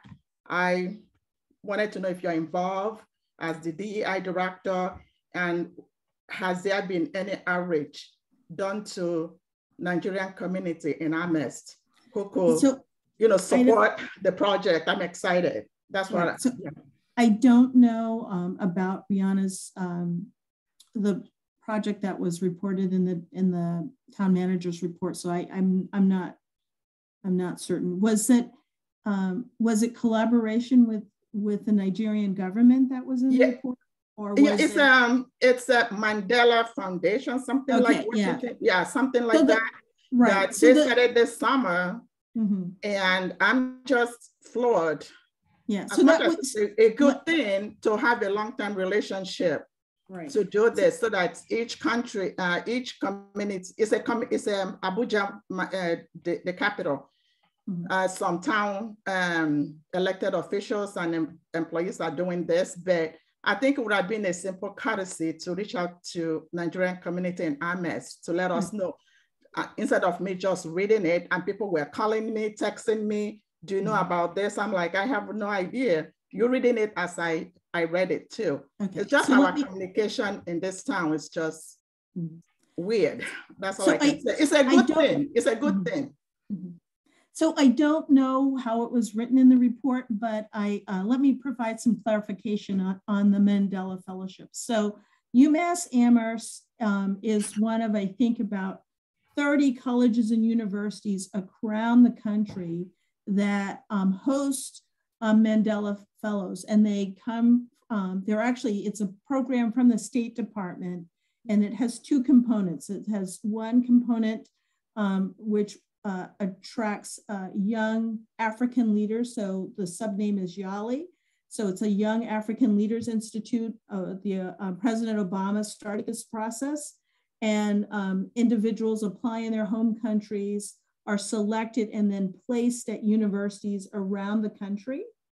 Um, and um, I, uh, so both the town manager, Brianna, and I attended a UMass event, which was a reception for YALI fellows. So I don't, I don't know what is written in the report, but that is the connection to the Mandela Fellows, that it was attendance at, at this UMass event.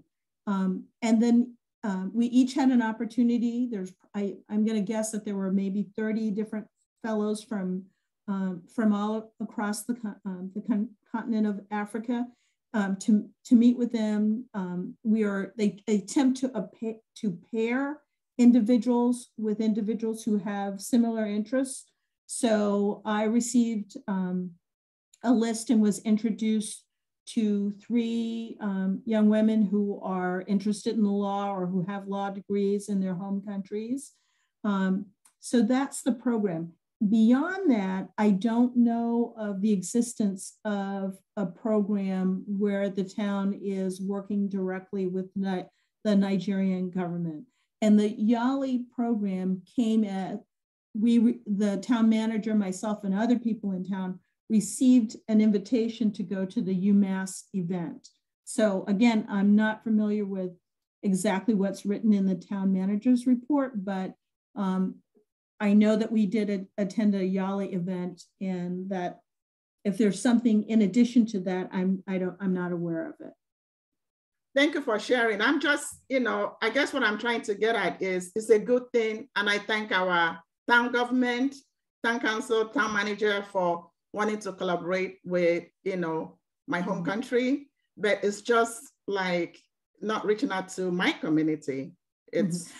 So kind of what strange. I'm trying to point out is that it, it was a UMass event, so we would not have had the opportunity to invite people to an event. We were we received invitations to go to. It's not what I'm saying. Just like email to us, I say, oh, by the way, you know, we're thinking about collaborating with Nigeria. You're from Nigeria, you know, we are experts as Nigerians who live here. We will be of value and support to our town officials, is what I'm trying to say. But I don't want to label the issue.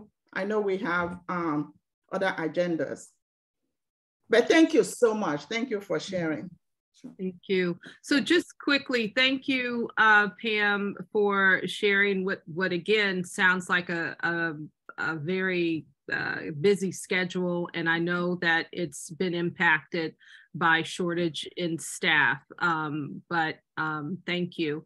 Uh, just reminds me, Miss Pat, you know, what you're speaking to 15 years ago when I arrived here, there was more of a town gown effort in collaboration um, in, in some very formal and organized ways. And I agree that it's, again, it's, it was a, a UMass event, but when folks from different countries come, you know, here, one way to make sure that they find home and want to stay or want to come back is to connect to connect people with communities. So um, you know just to to think about that in terms of expanding this notion of uh, diversity and equity mm-hmm. so are there so any I, other questions for uh, pam young and dei i'm sorry pam you were gonna i was going to say i will um, make sure that i share your comments with umass with the organizers of the event because I think the invitation has to come from them. Absolutely. Absolutely. Maybe we're referring with two different projects. Actually, this one says this is a uh, more like exchange program between our town and a particular area in my country. Maybe yeah. you know, oh, you think maybe, the same one? I don't know. I, yeah, I'm, yeah. I'm I'm not certain. So okay. it could be two different programs. Yeah, it might be. Yeah, but anyway. Okay. Uh, Philip, did you want to fill us in uh, more on the, the bylaw discussion and Human Rights Commission connected with DEI? Uh, yeah, I can do that. Uh, I think that to um, a little bit of Miss Pat's point is that with the looking at the bylaws of the different um, municipalities being Cambridge and the various kind of like they have almost like a court type of proceeding happening over there at the Human Rights Commission that we want to take a kind of mutual, like a center approach to it from Cambridge and from the other one. I forget right now the other, other one that meets um, only four mm-hmm. times a year, and to having that capacity be basically that we can still receive complaints hopefully um, and correct me if I'm wrong, Pamela, um, the DEI department would be looking at it with the chairs of the Human Rights Commission, and then we can go from there to see what kind of steps can be taken. And so that's kind of the bylaw that we've written up. But right now, I think that the point that I was going to make is that um, pointing out Miss Pat's kind of stipend conversation around it is that we have limited um, commissioners is really an issue that we're facing at the Human Rights Commission. We don't sometimes it's difficult to meet a quorum. So I think that if we had a more active human rights commission, um, that that might be something that we can look into to further the bylaw. And it is going to be an ongoing conversation and um, to look to see how we're going to move forward. Thank you. Okay. Uh, if there are no more questions for uh, Pam Young and DEI, um, I'd like to move on to the next item. So town council meeting preparation and um, I believe uh, President, uh, Council President Lynn Griesemer, um, Griesemer is in the audience. There. Can we take five can I ask, break? Can I ask one question though? So uh, uh, um, are we, is there gonna, are we gonna be able to present at the town council meeting or? Well, why? So two things. So Miss Pat has asked for uh, a short break. Um, if we can do that, if everyone agrees.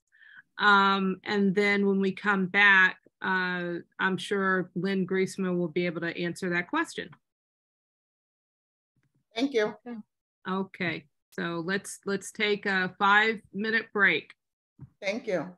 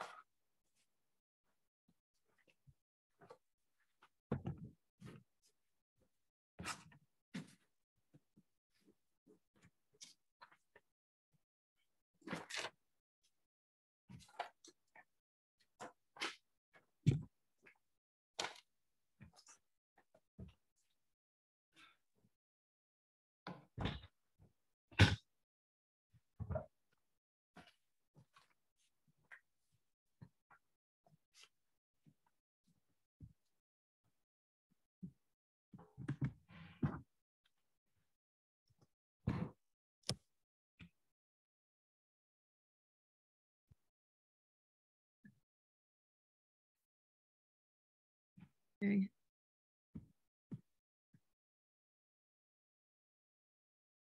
Let's see, still waiting on Deborah Brickey. I'm here. Oh, hey. All I just didn't have the video on. Yeah, let's see. Freke, are you here?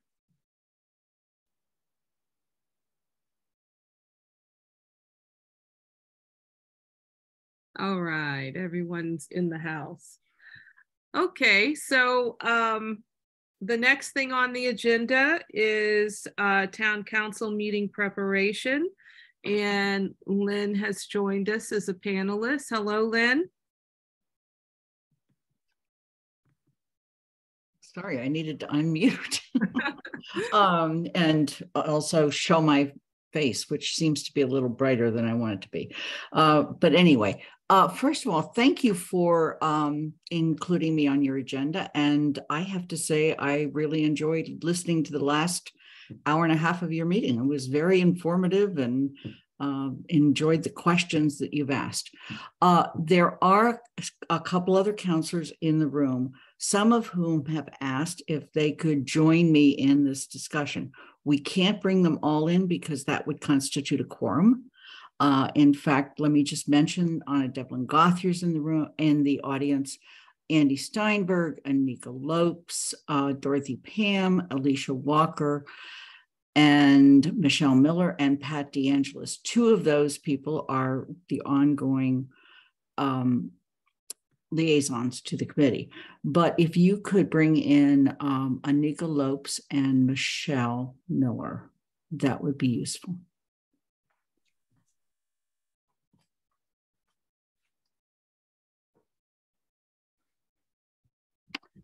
And um, I just want to explain that uh, Ellisha is also in the audience. And Ellisha, um, if we already have two people from Finance Committee, so we're on the teetering edge of that. But uh, since we have eight people on finance, if Ellisha did want to join, uh, you should raise your hand. Yeah, bring Ellisha in, please. Okay. And at some other point in time, other councilors may, who are in the audience may want to raise their hands. But um, first of all, uh, you did request that you are on the, be on the agenda for this coming meeting. And at this point, that is the plan. Uh, in addition to that, I do want to clarify um, that uh, because I was listening to your earlier conversation, I have asked the town manager to make sure that in our packet for this coming Monday night is a report, a written report from the police chief and a written uh, update from uh, Pamela Young. Okay, So, Uh, so Len, Len, I'm sorry to interrupt you. I'm just having uh, difficulty uh, getting Ellisha into the room. So let me, I'm just going to Oh, try help. one more time. I don't know, Ellisha, if you. uh, now she looks like she's doing it. There you go. Thank you. Hi, Ellisha. So that it, it is on our agenda that they will be um, they, they will the reports will be in the packet and they will be there. And if needed we will ask for a a presentation but certainly have a question and answer period or comment period. Uh, and that came directly out of both your request but also the last meeting of the council where councilors again were very clear that they would like to see the final uh, the updated report from um, the DEI director and uh, the report from the police. Um, so uh, that's that piece. Um, the other piece that you also mentioned, and then I'm uh, Deborah, I'll get to questions. Okay, uh, was talking about the uh, seven points that you made in your letter. And as I'm sure you are aware, I drafted a response and I have to say, I've never spent so much time on a response to a letter, uh, but that's my problem, not yours. Uh, and I shared that with the council, but they never discussed it.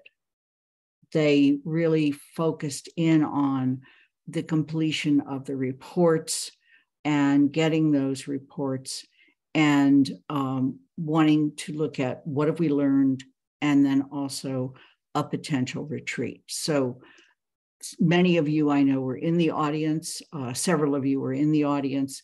Uh, thank you for hanging in with us so late. Um, I hope your meetings don't go as late for your sake, but our meetings do because of everything on our agenda. So why don't I pause there and say, I do hope we can focus on what it is you would like to get out of the meeting on Monday. We are going to have to restrict it to an hour. We actually begin our meeting at 5:30 on Monday night. And then we have a that we have three different meetings Monday night, and we have a ton on our plate. So as you well know. So Deborah, um, I'm, would you like, I'm sorry, Dee, how would you like to proceed? Yes, so Deborah had her hand up first, and uh, we'll go ahead and take questions if you're finished um, Yes.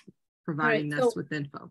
Yeah, so I guess like the first question would be around the timing. So you said that the meeting on Monday night is only for an hour, you said?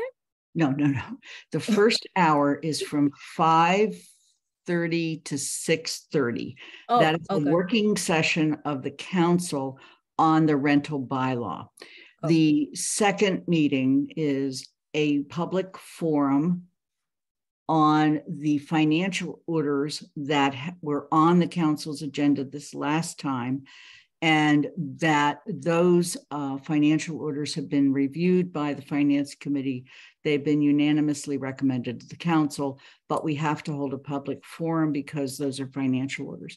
The third meeting is our general town council meeting, and it's during that meeting that we are setting aside an hour for the conversation that includes um, the CSSJC.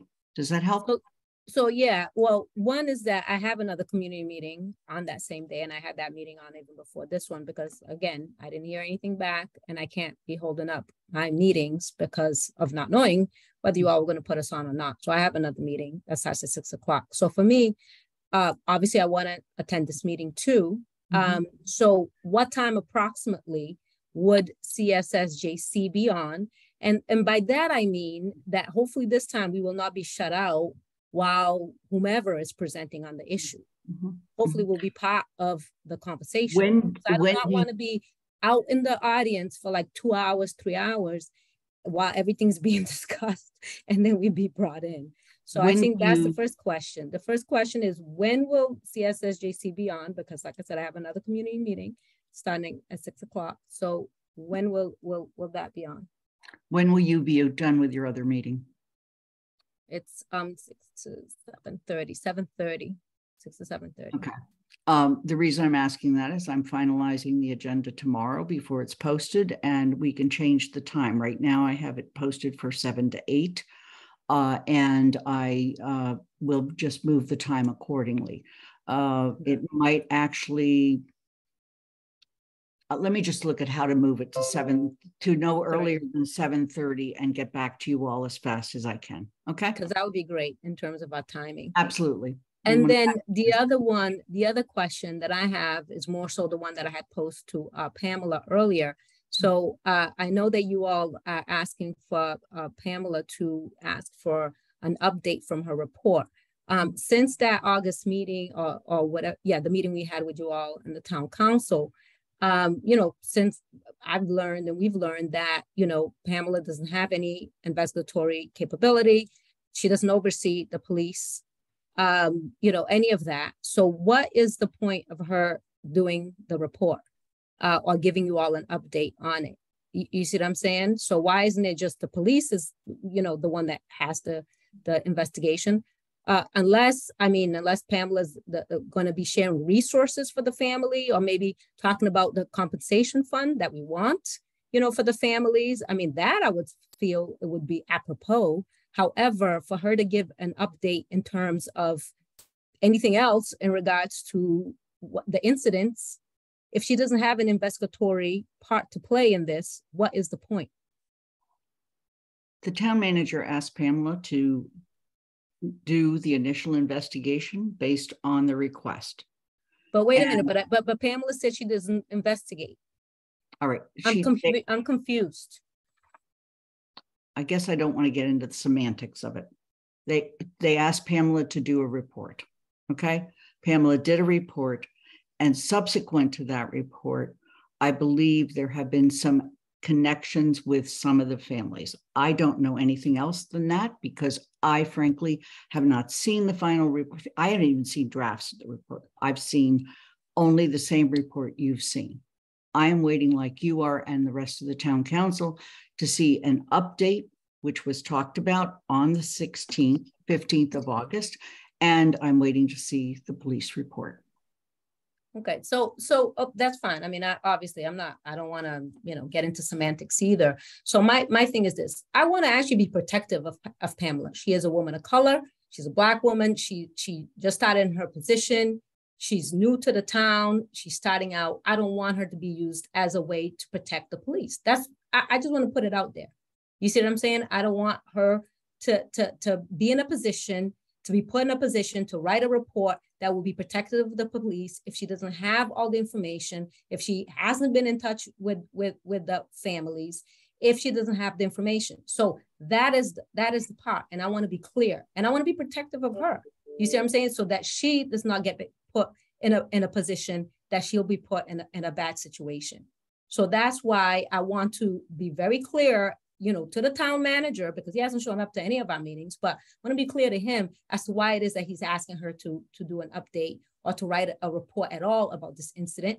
Since she doesn't have an investigatory arm, she, she can't investigate, she doesn't oversee the police and, you know, and all of that. So uh, again, unless she is going to be doing things to be in support of the, the, the Amherst Nine, the young people that were, you know, violated on that day in terms of compensation, things like that, I don't know what, what the point is. So I, I just want to put that out there. I think you have every right to raise that question on Monday night. Thank you, Deb. Um, Ms. Pat?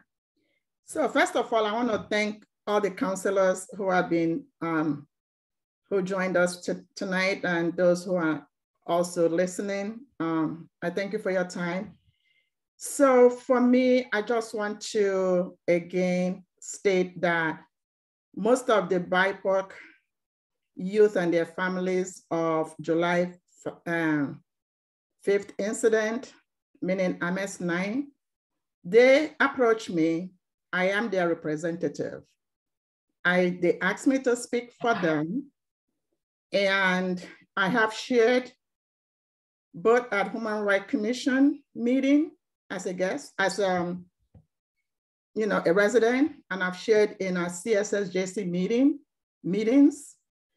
So they have put out statements that they instructed me to, you know, uh, forward to Human Rights Commission, to CSSJC. I would like, they also told me that they would like me to forward that to the town council. So I'll be emailing that to you, Lane, um, to be part of the packet for town council. And in terms of um, final police report, I'll be curious to see if the Amherst Nine voices are being included in the final report. So here are the things that the youth and the families, BIPOC, have requested and that's what they will want because I don't want us to go on Monday and start wasting our time. So may I so, um, observe, Pat, that yeah. this is the first time I've heard there are statements yep. like this. Uh, I don't believe and that Pamela or the police chief has seen those statements or anyone else. I also want to make very sure that you understand that the moment they come to me by email, they are public records, even That's if correct. they never get posted in the packet, mm-hmm. they are mm-hmm. public records. Yeah. And in fact, I've now started including something about that at the bottom of my emails. So there's no question. Yeah. We need to be extremely careful since these are minors, or at least we believe they're minors. Yeah. Their names are redacted and that they are not directly associated or in any way exposed publicly. Yeah. I, I yeah. looking to the lawyers in the group, Pamela and others to confirm that. And then the other question I have is if we, the, we have these reports, but Pamela, who has been putting together the com- compilation, has never seen them, then we don't have a final report. She- And so there is no sense seeing, doing this on Monday if we don't have it. Actually, if I may, um, and I don't want to speak for uh, Pamela, she actually has seen it twice at the two different meetings that I referenced, the Human Rights Commission and also to as and also as JCC. So what I wanted to say in terms of the youth, they are protected class. I'm aware of that. So their names are not signed in there. So it's, you know, they have right uh, to confidentiality. Um, it's already out there. I believe Amherst Indy already posted it last week in their newsletter. So it's out there. Um, but I will, you know, I would like it to be, you know, they would like it to be part of uh, um, the town council packet. And thank you for, you know, for your comments in terms of confidentiality. I'm glad you raised it because some of the councilors were questioning last, in your last meeting, that they don't even know the names, they don't know who wrote it, you know, somebody just made up, you know, statements. So I'm glad that, you know, we know that the youth are being protected because of their age. So I know that. Mm-hmm. So they want their voices included in the final report. Uh, they want to be made whole. They, you know, some of the some of these kids and their families are really struggling because of the trauma they uh, of police misconduct. They need uh, to be healed. They need therapy. Um, compensation fund is not start is non-starter. They have to be compensated. If these families were middle class, upper middle class, they'd be lawyering up.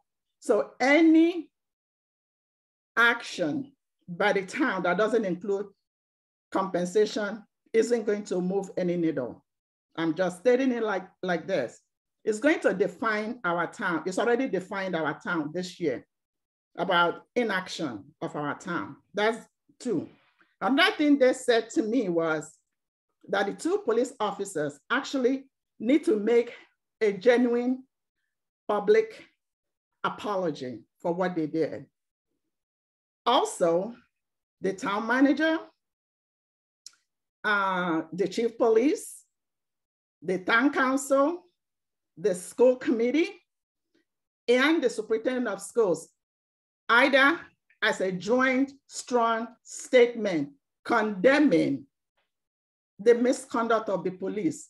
That's when the you know, personal healing for this youth and their families will begin. Before we start even talking about retreat, before we start talking about visioning in our town, before we start talking about community healing.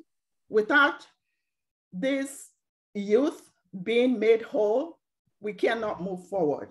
This is their message through me that I'm putting out tonight. Thank you. Uh, Pat, I, I'm just going to be very clear. None of the councilors are going to respond to the issue tonight. We yeah. cannot do that because that would constitute a debate, and we are not having a debate tonight ourselves. I do want to ask, um, Pamela, you have your hand up. Have you received all of these final reports? So um, the I received a letter from one of the parents um, that was uh, did have a signature and a name, and uh, two anonymous, um, one anonymous letter from parents, and one anonymous letter uh, compilation of statements from the youth that were involved. All of those statements were forwarded on to the police department. So all of that information has been sent to the police department. So, and they were read publicly in the meetings for the Human Rights Commission and read aloud publicly in the CSSJC um, prior meet, well, maybe two meetings ago, but in the CSSJC meeting as well. So I have seen the letters and they have all of that information has been forwarded to the police department. Pat, are there any other letters besides those three? I'm only aware of two letters. Okay. That's, I just want to make sure that whatever we're dealing with is the full set of what we're dealing with. Thank you. Okay, I think it's uh, Legra. I think you and Deb can go before me. I don't um, really remember what I was going to say. Okay. Uh, Deb, did you want to go ahead? Yeah, I just have like a follow-up question to to Lynn, and I don't know, Lynn, if if you can answer it again because I'm I'm not sure what the parameters are of of, of the of you all being on this meeting, the town councilors. Um, but I guess my question, either for today or for for Monday, would be, you know, why has it taken so long for you know th- there to be any action on behalf of the town, on behalf of the police in regards to the Amherst Nine? This happened on July fifth. Um, and we are now, you know, October 12th, soon to be October 17th. And, um, you know, we haven't heard anything. We haven't heard any action. Even like for us, it took like two inquiries. We had, you know, our chairs had emailed you all before. Then we just kind of contacted you all again in regards to it. Um, you know, so uh, again, which really kind of, you know, makes me think, you know, as a BIPOC person, you know, and and and speaking again for the voices of BIPOC residents in in our community, that this really is not a priority. So um, I don't know if you can address this now or if you want to address it on Monday, but you know that's going to be one of the things that I, I'll be bringing up. Thank you for letting us know that. That's again, I'm not going to get into the answering questions or debates tonight. I'm trying to get a sense of what it is that people want to cover on Monday night. So I appreciate that, Lynn, and the councilors who have attended. Um, you know, as we attend you all's meetings to stay abreast of how our group can uh, work to make the community better on all issues, you know, having to do with finance, planning, et cetera, because DEI and equity should be everywhere. Um, I urge you all and invite you all to, uh, when you can, to either be in our meeting uh, in the audience or uh, to watch the recorded ones. And I, I know you're you have a full plate, but uh, I think it would be helpful. So very quickly, um, the youth were not found to have participated in criminal activity. And my concern in rewatching and reviewing the August meeting where um, uh, Chief Livingstone and um, some of the councilors' questions um, really focused on the issue of the um, the the law having to do with you know minors not driving you know being able to drive uh, themselves home etc i'd like for the police report to um, fully explain why were these youth held for for what reason you know in terms of policy and law? And uh, to also have some plan in terms of how this should you know how it won't happen you know if if this if this occurs what are the steps the police are going to take in regards to interactions with youth um, so we can have uh, much better outcomes and hope to God that the outcome is never uh, totally negative and, and harmful.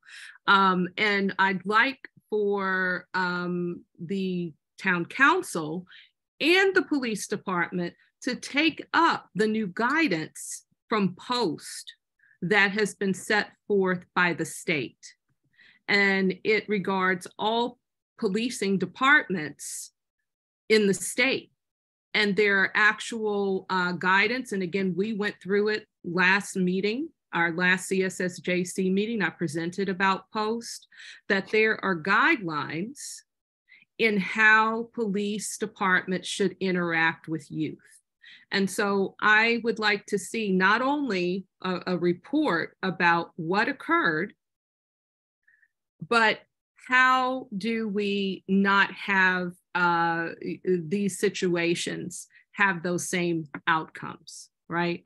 um, that the police, either through training or adherence to post, um, will not have this this occur again. So I'd like to see that. What happens next, basically, and then lastly, at least on my end, is you know I agree with with Deb, and Deb is, an attorney herself and so she she's very much aware i listen to when deb's talking because it's attorney to attorney in, in many ways but the protections of our dei you know uh, staff person that we see that she is already overextended you know and not to say she's not handling it she is but you know this this office has a lot to it. And so we want to make sure that she's supported but also that uh, her position is not used as deb put it uh, so succinctly as a shield for the the police and and you know people can interpret it as as they may but but in in some ways it could be interpreted as such. And so then it leads me to the review board.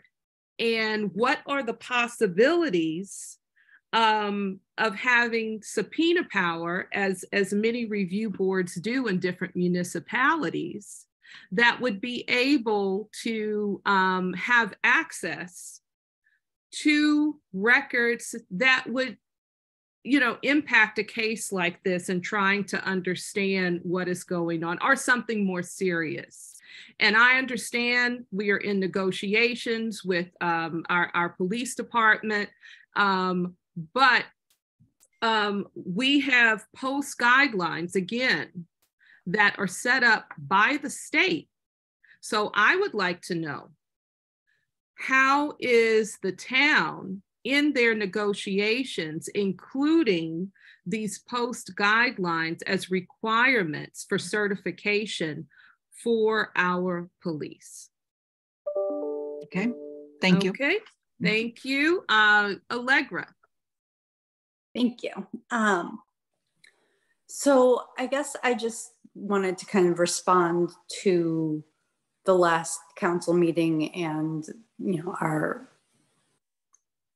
uh, you know, presentation for this upcoming meeting. And, you know, I did read the letter and I appreciate that you, you spent time, you know, trying to give us a response. And I think, I think that I, I really appreciated some of the councilors in the last meeting saying that, you know, it, it seemed like there was this emphasis on putting together a letter without as much of an emphasis on the conversations around what the CSSJC had initially asked from council in our first letter.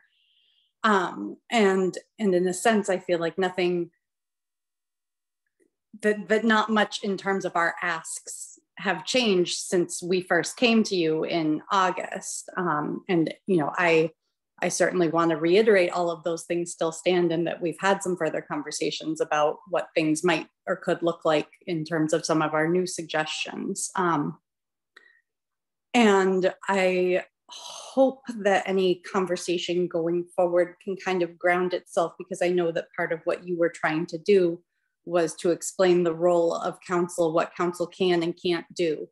Um, and so I was I was looking back through some of the um, materials and I found something from November uh, 8th of 2021, which is kind of the matrix that I believe you had started based on some of the CSWG working recommendations. And I'm just thinking of, of the first example that we had as an ask, for example, was reducing the size of APD freezing positions for now, since there was a posting for a vacancy in APD the day after the video um, surfaced in July. Um, and so one of the things that council was is and was able to do was to consider reducing the size of the Amherst Police Department as a goal in the budget guidelines. And we do know that budget season is starting again. So for example, that is one concrete thing that could be a response in the letter. You know, we will reconsider this. Um, and, and that is again, an ask for that I, am making, and I believe that the majority of the committee would be making as we have put that in our letter previously. Um, so I, I do think that there are some previous documents. There's there's one from November of 2021 and then one as well, a status report from February 28th of 2022. So those are perhaps documents that could be worked on collaboratively between town council and CSSJC to further the goals of the CSWG and whatever the else the CSSJC brings forward. Um, I do like uh, visual is nice with the columns. It helps me kind of organize my brain. Um, so I do, you know, I, I don't, I'm not saying, yes, we're going to do a retreat, but I'm saying if we're having conversations, it does, for me at least, help to have some concrete things to work from. And I think our letter certainly is still an important thing to work from, as well as perhaps these two documents that have already been created by town council can help remind town council of what their role could and, and should be, I believe. One of those documents is the matrix that's dated in November of 2021. Am I correct? Yes. Okay. Yes. And the other document is Um, it's a status report. Uh, it, it Okay. was in the town manager report from February 28th of 2022. It starts on page 14 to page 18 of that town manager report. thank so I don't know if, if he generated that or if that was from the council, but he gen- he generates his report and he did that he included that because we asked him to continually update us on the issues okay thank you. Thank you, Allegra. Those great concrete suggestions. Philip, Yeah, hello. Um, can you hear me? i can Yes, okay, I know, I'm having some. other people are shaking their heads you know All right, um, what I would like to see is the report, um, obviously as that is a discussion right now for the police department, but not just the report, but hopefully we can have some conversation around the report and specifically with the um, chief of police, Chief Livingstone, to kind of understand the steps that were taken in the finalization of the report, who was reporting on it, um, was there multiple eyes on the investigation, or was it just one detective? And then furthering on that, I would, and then I would say that the structure to the response of the police department, the town, and all other individuals involved is kind of what I would like to see. And that more so being that I have the um, scenario where I'm the co-chair of the Human Rights Commission, and we put out the report, or we put out the um, not the report. That's sorry, uh, um, for an investigation, and we did it in a formal way of the police filing, and then we did it in an informal way of sending it to a captain of the police department that is was helping on the CSWG, and we were told that is a good person to go to. And in both ways, we never received kind of like, hey, got the report or got the um, claim, we're looking into it or we'll investigate it. These are the steps that we might take or anything in regards to any step of the way of what was happening. We we really kind of kept out of the loop on that end for the Human Rights Commission, and more so even kept out of the loop when um, Miss Pat brought up uh, the two documents from the parents. We shared that information through the same means to kind of get into the police um, report to make sure that that was received and taken. And when we did so, we were kind of told that the report was in Chief Livingstone's desk or on Chief Livingstone's desk. And so we were hoping that that would make it into the report. And I believe it has, but even kind of an acknowledgement like, hey, we have it. Then like, why, why did I have to send out an email to kind of receive that information that, oh, the chief is kind of reviewing it. So structure of response, I think is key here. And I think that's kind of what builds the bridge here from this committee, from the Human Rights Committee um, and the town council. It's kind of just the response in general. I think we all collectively, at least from viewing town council meeting in the pre- past previous month, all have a goal of healing our community and really responding to this incident in a way that uplifts the youth, that makes their voices heard, that as adults on this call collectively respond in a way that is it's not going to happen in our town. Whoever you are whatever position you hold we're not going to allow these instances to continue to happen. So i would like to kind of see also what i guess the town council views these committees being the cssjc and the human rights commission as like advisors. What what are you looking for from us that you would like to see more of and how can we help each other in that way? And i um, was privy to join that last town council meeting.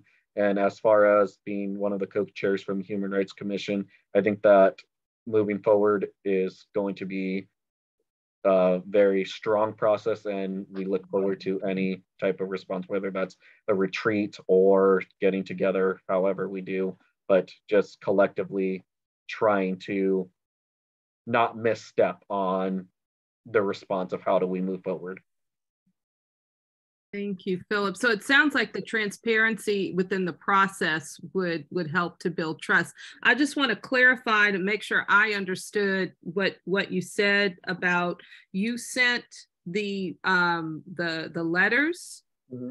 to the police and there wasn't any uh, receipt of we we have these letters thank you for sending them we'll add them to the report or just we have them I sent it, and the response was that the report is on Chief Livingstone's desk.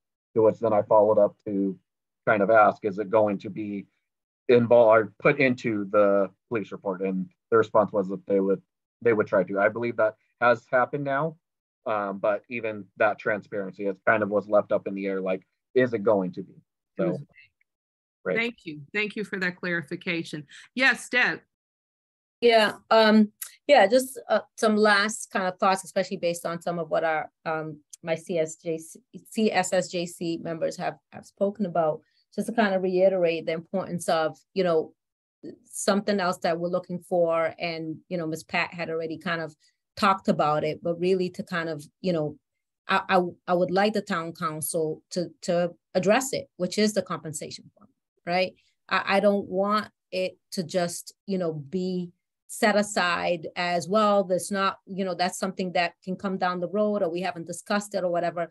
It would be something to, to be addressed at this next meeting around the compensation because the part of it is how, you know, how is the Amherst Nine being taken care of? You know, how have they been supported emotionally or have they been supported emotionally at all throughout this from July 5th all the way to now October 17th, which is going to be the next town uh, council meeting. I, I want to know, you know, what has happened in terms of supporting the Amherst the, the young people and their families throughout this time. And obviously the compensation fund is a big part of it. So I, I would like that to be part of the conversation and, and really the town council addressing it. And then second, in this report that, that the police um, chief and the police have done, and are, are going to be sharing on the 17th is to kind of, you know, go over, you know, what they investigated, how they investigated, what their outcome is. And if their outcome does it is that there was some type of, you know, violation or issue, which, you know, obviously me personally, I think there was, but again, based on it, let's say if they do, that it is included in there that besides an apology, which an apology would be important, but also what would be the follow-up steps to remedy the, the problem, right? To, to make sure it doesn't occur again. And also how are those uh, police, the two police that were involved going to be held accountable? So, and, and that, it doesn't mean that they have to say, yes, well, this is gonna be the discipline, so on. So I don't need that, but what would be the, the, the, the way that they would be held accountable so that then we can check in on that later to make sure they were held accountable. So those are some of the things too that I'd, I'd like to hear about um, this coming meeting. So let me respond as the person who is responsible for setting the agenda for the town council. Okay. Everything you've mentioned tonight is more than one meeting. So we need to decide what we want to focus on in the time that we have this coming Monday night. And it sounds to me like the most important thing to focus on is getting the updated reports and the report from the police chief and having a discussion about that with some questions and answers. The problem that I'm faced with, and you know, I I'm the one that has to juggle the many, many demands on the council's calendar, is we also have other things we've got to do. And we as a council have not discussed the seven issues that you have raised, even though you have discussed them as a CSSJC.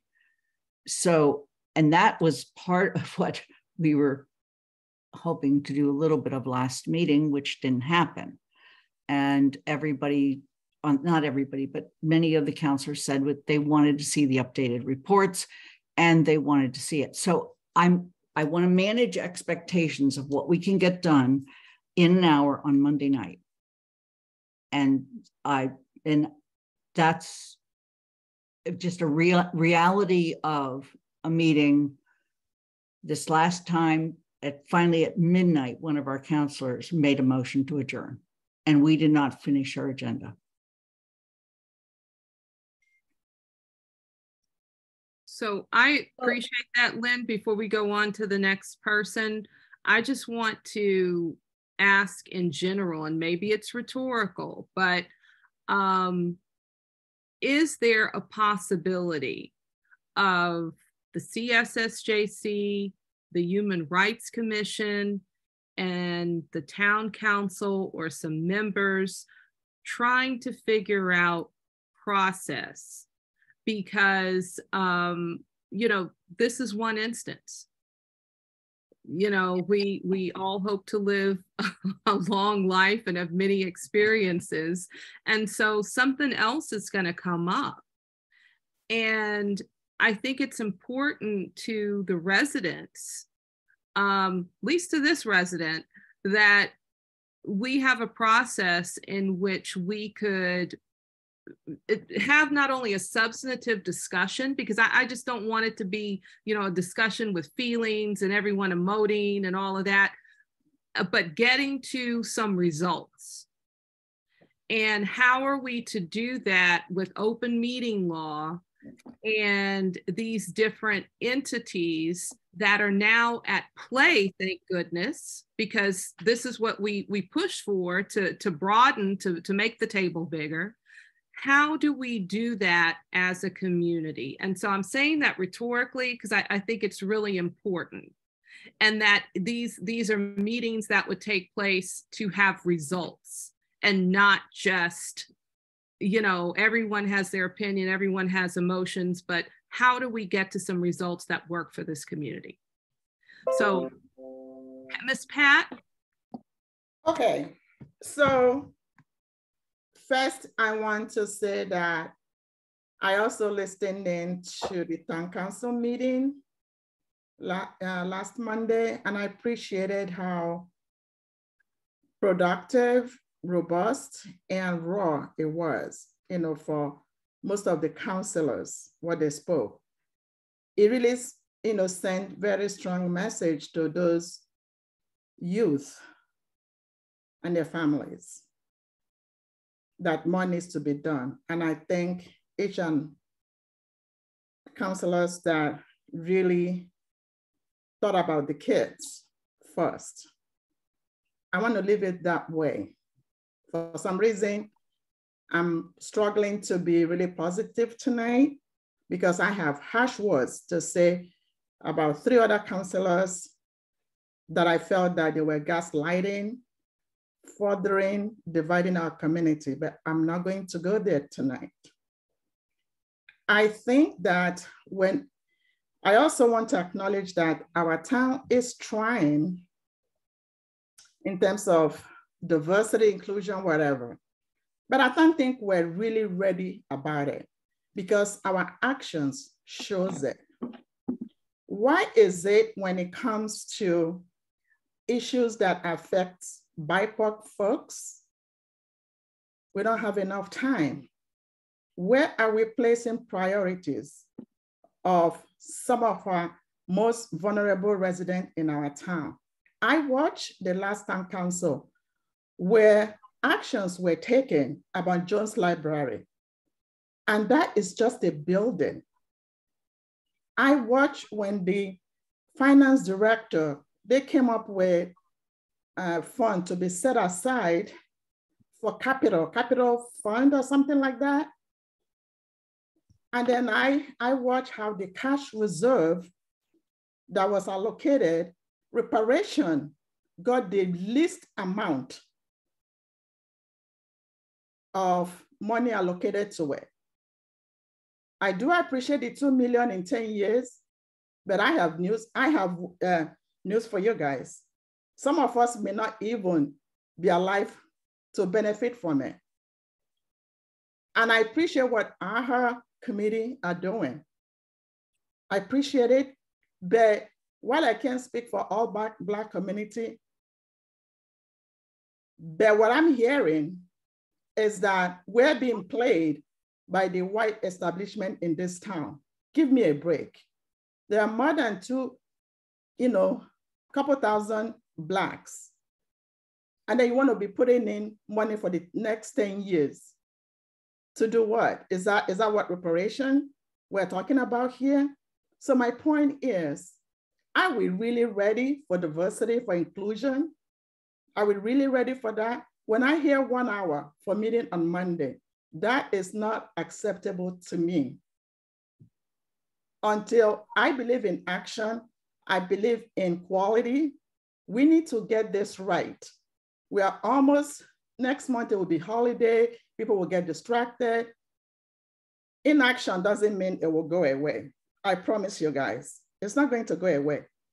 So if there is a way we can move certain issues Furthermore, it will be better. This incident happened July 5th, more than three months. The, these families are part of our community. Why are we treating them less? And I, I sympathize that town council, town council have a lot of issues on the agenda. I really don't care because I think this is important. This is the first time since last year that we have majority BIPOC folks in certain town committee. You guys want us to, you know, want us. And when we participate, we are accused of attacking people. We are, we are accused of being disruptive. We are, we are giving all kinds of names. The one that some people of color don't want to join any committee because some of us don't want talking. We don't want to be pat on the back just to make everybody happy. History will judge each and every one of us what we've done in this town to move our, commu our community forward. So my point is, Monday better be productive. I'm not interested in hashing out and just talking feelings, feelings, feelings and stuff. What are we going to do to heal these nine people, nine youth and their families. So Ms. Lynn, if you can have that conversation with the town manager and the police uh, and the chief police, you know, is there going to be apology coming, coming out? You know, uh, uh, is there going to be a strong statement from our town officials. That will, that will mean a lot to the victims, basically. Will the, will the town council direct the town manager to set up compensation funds? At least make a promise that it will happen. Without all this, to, to be honest with you, it's a waste of time. And the family, the BIPOC families and the youth, they have made it clear they don't want to meet with any police officer. They don't want outreach from them. And they don't want to eat pizza with them. They have not apologized. There is no accountability. Nothing has been, they haven't been made whole. Why would they want to? It's like, it's like somebody telling an, uh, asking an abuser to have pizza with them, with, with your victim in domestic violence. There is a power structure right there. So if we, if we really want to do this right, we need to commit time and action. I'm tired of talk, talk, talk for the past three months. Thank you. Thank you, Ms. Pat. Allegra?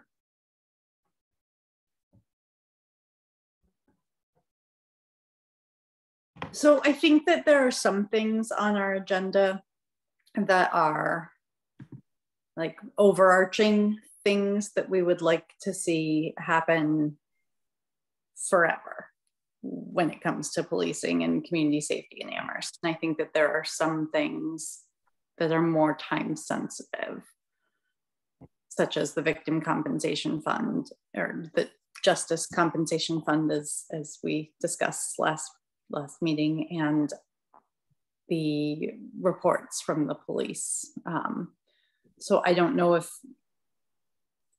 focusing down onto those two things would be agreeable to members of this committee in order to continue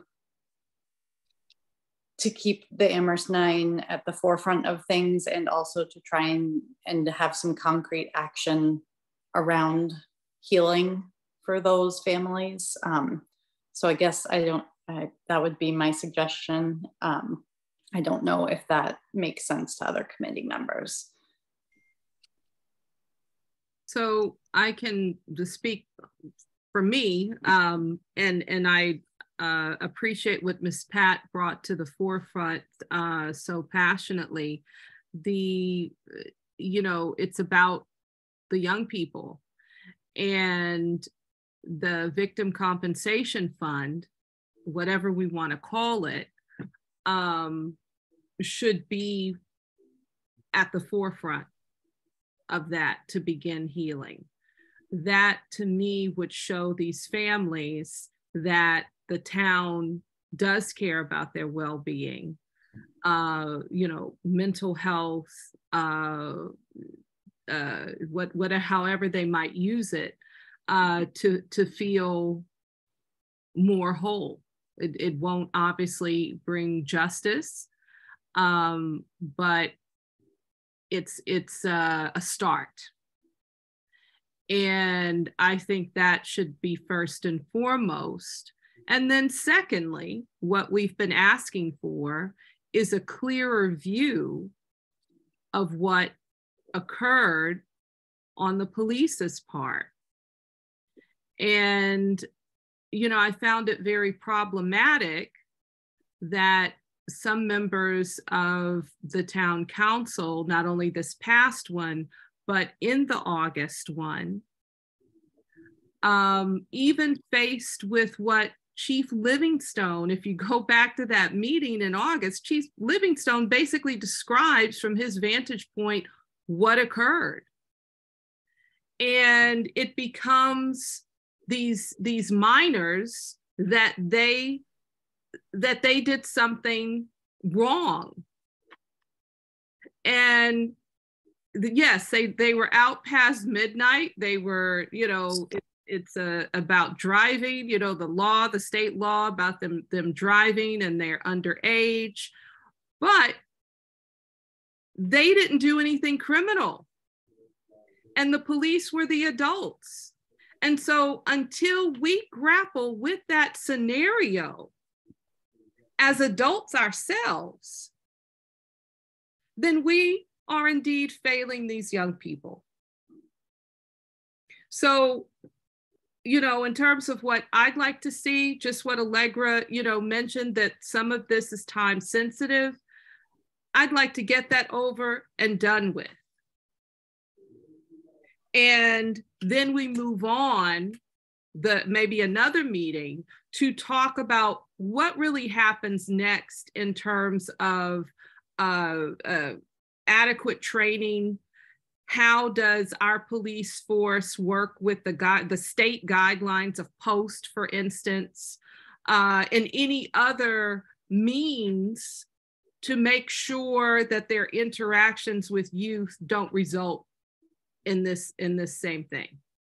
So that's that's what I see as as priorities for for the hour. I do think an hour is too little time, but um, it, in terms of priorities, that's what I see. I'd like to hear from our group. Uh, you haven't spoken all night. You've been uh, more quiet than usual. Um, I've been listening to the conversation and um, everyone has said a lot and there wasn't much for me to add. Um, I'd like to thank the council members who are here tonight, and I look forward to um, the meeting on Monday. Um, I don't think we'll ever have enough time, but I do think we should prioritize and um, reducing it at least to what is more time sensitive would be the appropriate way to go. Thank you. Thank you. Anyone else in our group? Yeah, I mean, again, yeah, I think that the the compensation fund, the healing for the Amherst Nine, um, but also the report, uh, the outcome of that report, and what's going to come out from from that report. I'm not saying trainings and long term stuff. I'm just talking immediate in terms of accountability of the two police officers. Pam. Uh, there are two participants who have raised their hands. Um, um, are they council members? Um, one. one. is Council Dar Dorothy Pam. Yes. Oh, okay. So they're they're part of our group. Thank you for for letting me know. I do want to mention right quick though. There's models for compensation funds, and actually Pam Young uh, looked uh, up some of these models. So there is a reference point for communities uh, providing uh, such compensation funds. Are you going to bring them in, Pam? Okay, thank you.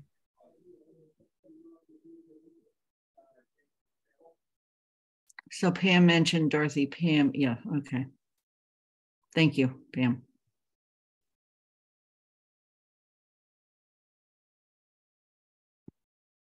Dorothy? And someone, if you could turn off your microphone, I know that's, I do that all the time too. Okay. Dorothy, yes. All right. so I, I have a suggestion. So many of the things you've mentioned, as, as Lynn will point out, require discussion, debate, and take a long time. And so the question is, what can be done in an hour? And perhaps the first step could be taken in an hour which would be some statement of apology. That's my suggestion. Thank you. Thank you, Dorothy. Yeah, I mean, I think that's the thing. I mean, I, I'm I am struggling with that as Miss Pat is like an hour. I mean, what is really going to be accomplished in an hour? You see what I'm saying? I'm like, isn't there any way to have more time to really get in, into this? Because how are we going to discuss everything, even those two priority items in an hour?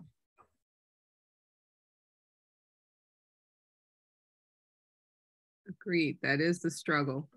Um, I I, to, I totally agree with the struggle. But I don't have a great resolution, although one of the suggestions that was made on Monday, uh, the third, was the idea of a retreat in which there would be a whole lot more time.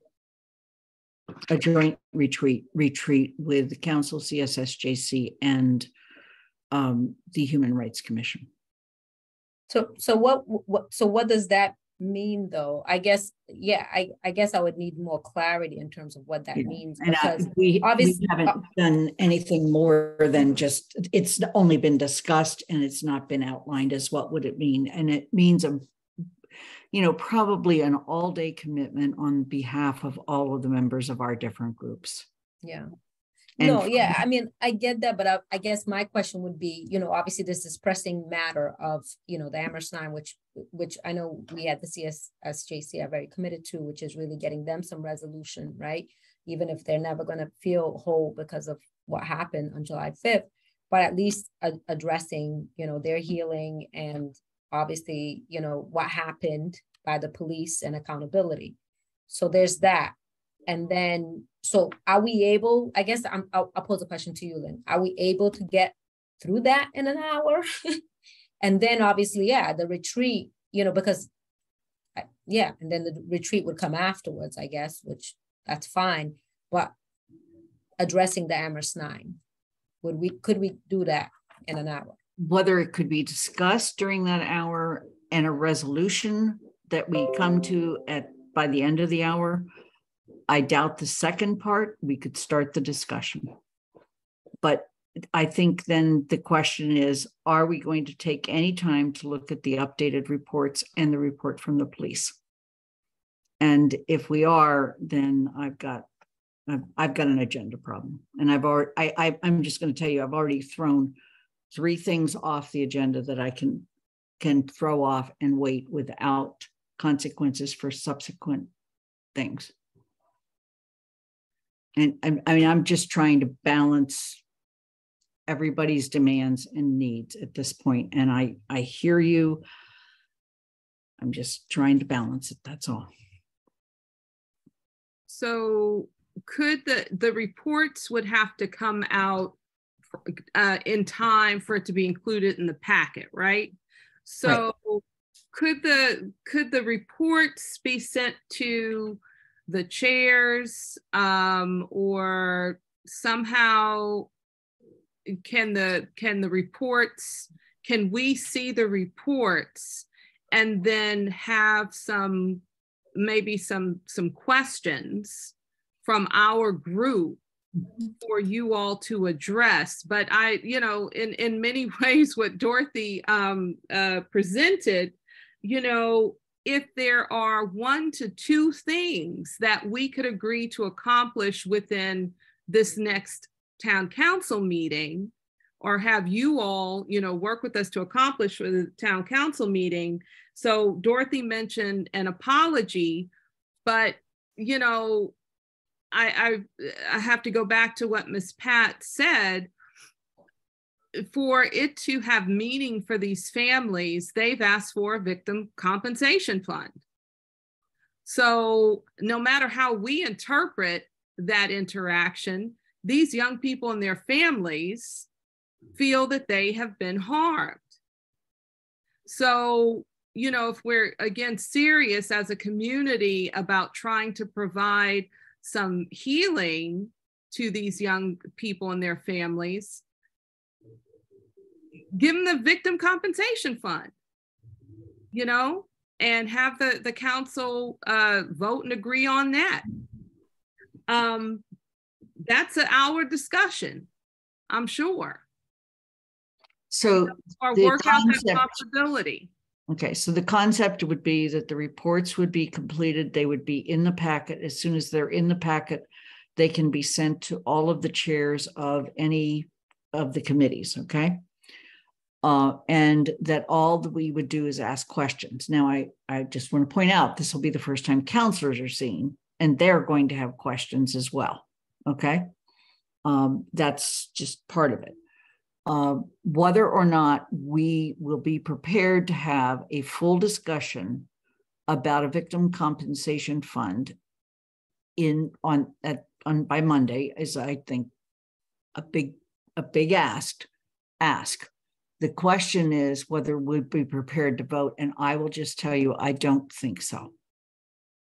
Because it's not, it's it, there's a lot of legalities, uh, including the fact that right now the legislature, we would have to go to the legislature for special legislation to give money to individuals.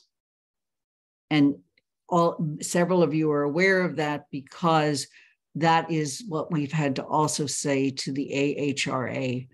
Uh, and um, in a meeting that I held with them, and then we shared the protocol with the council. um, the, at this point, it is not legal for the town of Amherst to give individuals money. So I understand that. And, you know, the, the victim compensation fund could be crafted different ways. I hope we have uh, Pam Young and with some guidance here as well. But it's, it's about accountability. So not reparations. And I, I'm just, you know, it, it sounds like it's going back into uh, not only the issue of, of legality, but um, not wanting to, and I'm not saying you personally, Lynn, but the, the, the council, the town, trying to, you know, make uh, the, the youth and the families whole. So I think that needs to be at the center of the discussion, however we could do that.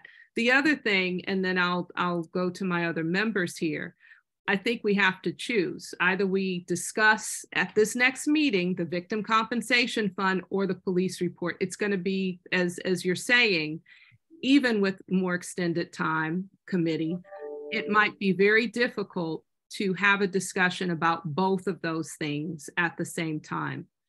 So I'm not one for retreats personally. It's not something I like to do because I've been to too many DEI diversity workshop trainings. I've given them myself.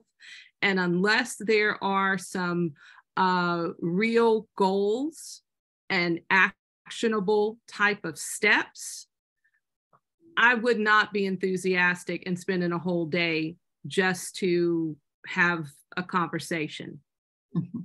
That Okay, so I, I'm just saying, so we, if, if any of that should, should be part of this discussion, we have to talk about, so what are we getting out of it in terms of process and for the community? And I'm not gonna speak for the rest of the group, but me personally. So I'll, I'll go to, uh, I, is it Allegra next? I don't know, but. so. Allegra, Allegra first. Uh, so I think my I, I'm just trying to be a realist here, and I'm thinking like we have now been talking about what we're going to talk about at this meeting for over an hour. So I don't know how we're going to talk about a topic in an hour. Um, but I think what whatever topic we choose to talk about for an hour, what I want to what I would ask the town council to do is agree to have further discussions about it before a two month window has gone by again. You know i think i think part of the frustration i was having sitting in on the meeting on october 3rd was that it sounded as if many of the councilors wanted to have discussions and wanted to have updates and wanted to hear more about it and wanted to discuss things more. And they, you know but it, time has passed. There are other things. We we're all busy people.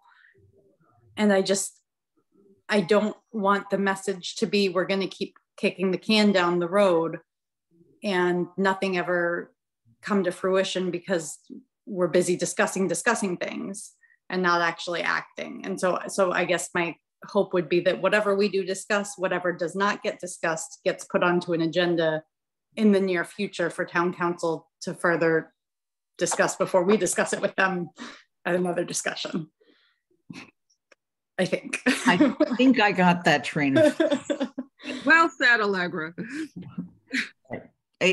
And it, it, the council does, just as you have meetings and you have had very, very intense and thorough discussions of all of this, the council has not.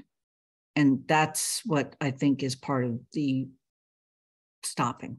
That, that's what's blocking us right now as a council. And I so yeah. Okay, and when you say what's blocking you is the council, it's the process. Is that it's, what you're it's the time to have the discussion. Okay. It's it's not it. I mean, there's process. You know, we. I mean, I hate to say this, but if you're working with government, you can process people to death. Thank you. I I agree with that frustration with government. Okay. But the reality is it's time to have the discussions. And that's what I think the council has not had is time. And I, you know, um, a couple months ago, I tried to add another meeting in and I I got shut down on that one fast. Mm. So. I real quick and then go to Miss Pat. I think one of the things that's at the core of this and the frustration for us is that you know we come out of the CSWG and now we're the CSSJC and it's like we are supposed to give guidance regarding these issues and it's like you know we're we're not being utilized and trusted to have um to to uh suggest you know uh what the community needs what uh and how to meet those needs. And so i think that's also a little bit part of our frustration because we're trying to authentically and sincerely fulfill this role. And um, how does that work and operate when we when Miss Pat has been in contact with these families. They trust her. That is what we wanted uh, in terms of the having a committee like this, someone that could, you know, do that type of outreach. You know, people pay thousands of dollars for that type of outreach. And she's done it here because she's a trusted member of the community. They went to her. And so, you know, then how does the council now take and utilize what we've presented in also a sincere and authentic way? Um, I, I think there's a the like you say, it's there's a bit of this standstill but we want to be valued for for what we're bringing mm-hmm. to the council uh, and what we've been placed in uh, to do. Right. So, so, I mean, let, let me just, you know, Dee, you and I've talked before. I think Allegra and Anna and you and I spoke about uh, any number of ways to proceed. But again, one of the things that and maybe I I I accept full responsibility for not writing a letter people one wanted to use. But one of the things I was trying to do was I say, you know, here's where we are in each of these. Here's what the council can do. Here's what some other group, maybe CSSJC, needs to do next. Let's acknowledge this. Let's do this. I was, in fact, trying. I'm sorry if I'm frustrated. I, maybe it's my time to just be frustrated. I was trying to, in fact, help us figure out a path forward. And if I didn't do it well, I accept that. But I'm trying to figure out how we can take the different steps that you all pointed out in your letter, some of many of which, not all, but many of which came from the CSWG. And you referenced that in the letter. And having read those reports thoroughly and developed the initial matrix, I, you know, recognized them as being directly from the CSWG. How can we take those pieces and the thing that would be, I think, most useful for us coming from CSSJC is this figure working with us and figuring out who's going to do what to move this forward. And in the process, this event occurred, and it's kind of become the only thing that people want to talk about because they can't move on without that. And so I'm trying to figure out a way. I hear you. And I actually I think it's a great opportunity so I, I hear what you're saying, but I, I really see it as an opportunity to not only do what we've been, you know, to it's talk, uh, walk in the walk, right? This is our mm-hmm. opportunity in this town to to actually do what we have been for the past year, uh, uh over a year, saying that we are committed to. And so here is a group that has that commitment and wants to get us to you know kind of stand in the mm-hmm. in in that that mm-hmm. space and do what we said we were going to do as a community this is our moment and so I really, you know, as as a person who really dearly loves the people in this community, let's do that. Let's figure out a way to get past this by doing what's right. And so I'm I'm gonna stop on that because I, I I go to tears quickly, but um, I, I truly believe that this this is our moment to stand in those shoes, to stand here and and do what's right. All what we've said, all the stuff we've written up so many times. I just looked at the DEI website, all of that. Let's do it. Miss Pat. So a couple of observations. So I want to say that, Lane, I watched last week town council where you express frustration in my culture. It's actually a strength. That's part of leadership. Tonight I said that too. There's nothing wrong with that. For somebody from another culture, it took me a long time. Even today, I still struggle with that. Like if you show your emotion, people misinterpret it it wasn't a weakness at all. That's the way it's supposed to be. I appreciate, you know, your leadership. I appreciate everybody's time. Um, I know your position is not easy. This is what I'm thinking, okay?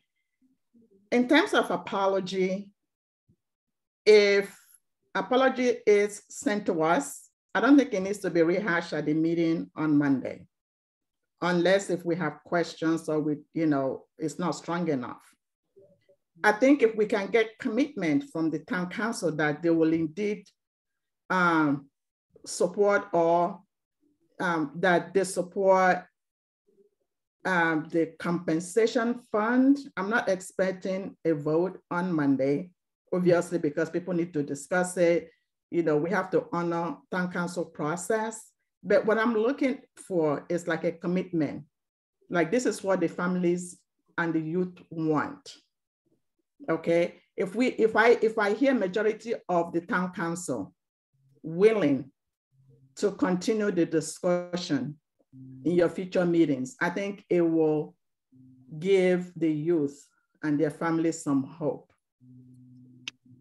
I also, at the report, you know, if it can be out. I'm repeating what in other folks, you know, for us to read.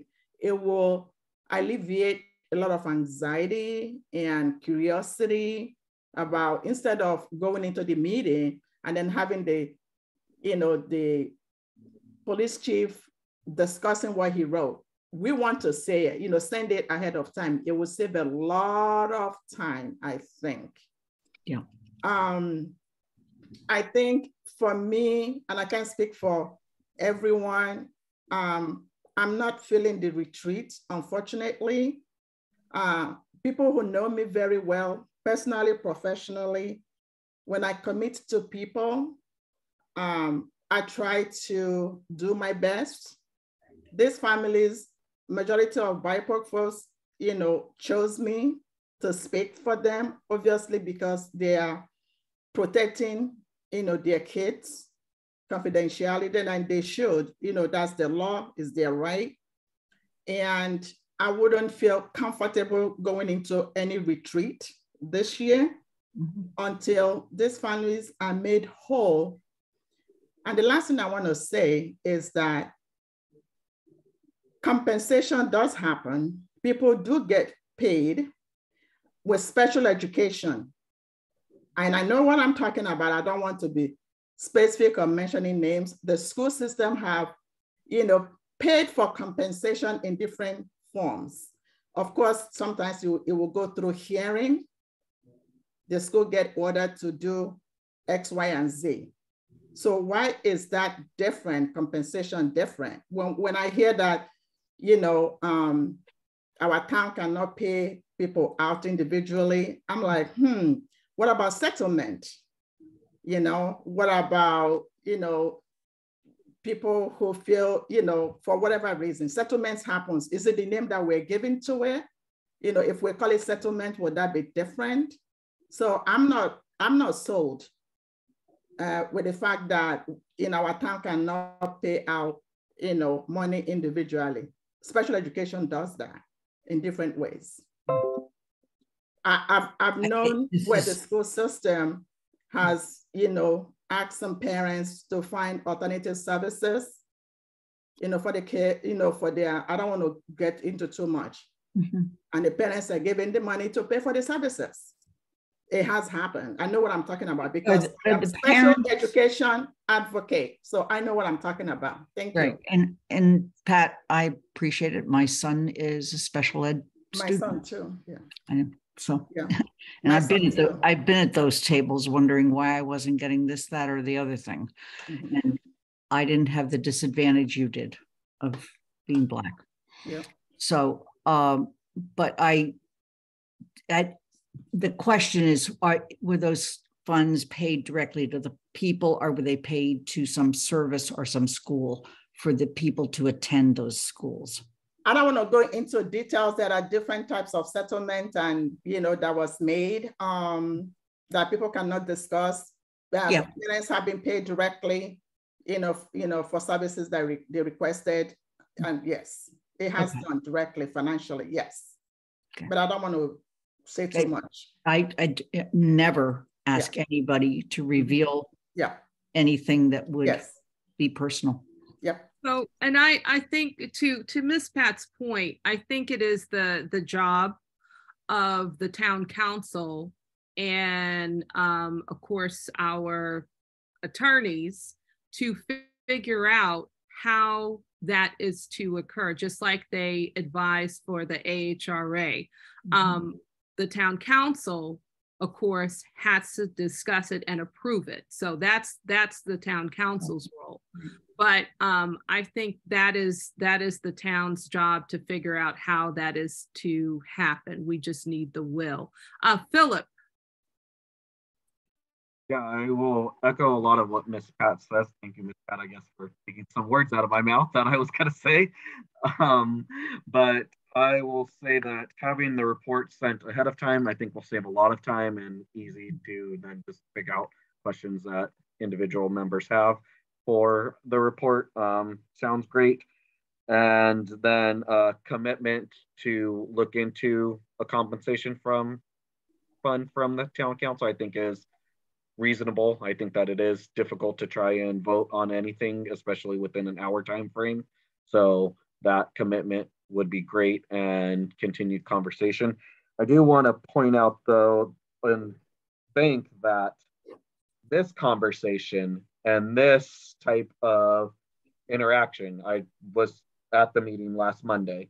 I saw how long that was and how frustrating that was for town council um, members and people having these conversations, having been brought into it. You know, there was a suggestion to have us be come into the town council meeting November 7th. That would have pushed the issue way back further. So I really appreciate us trying to get this issue as a top priority. And I do see that being taken. And so I really do appreciate that.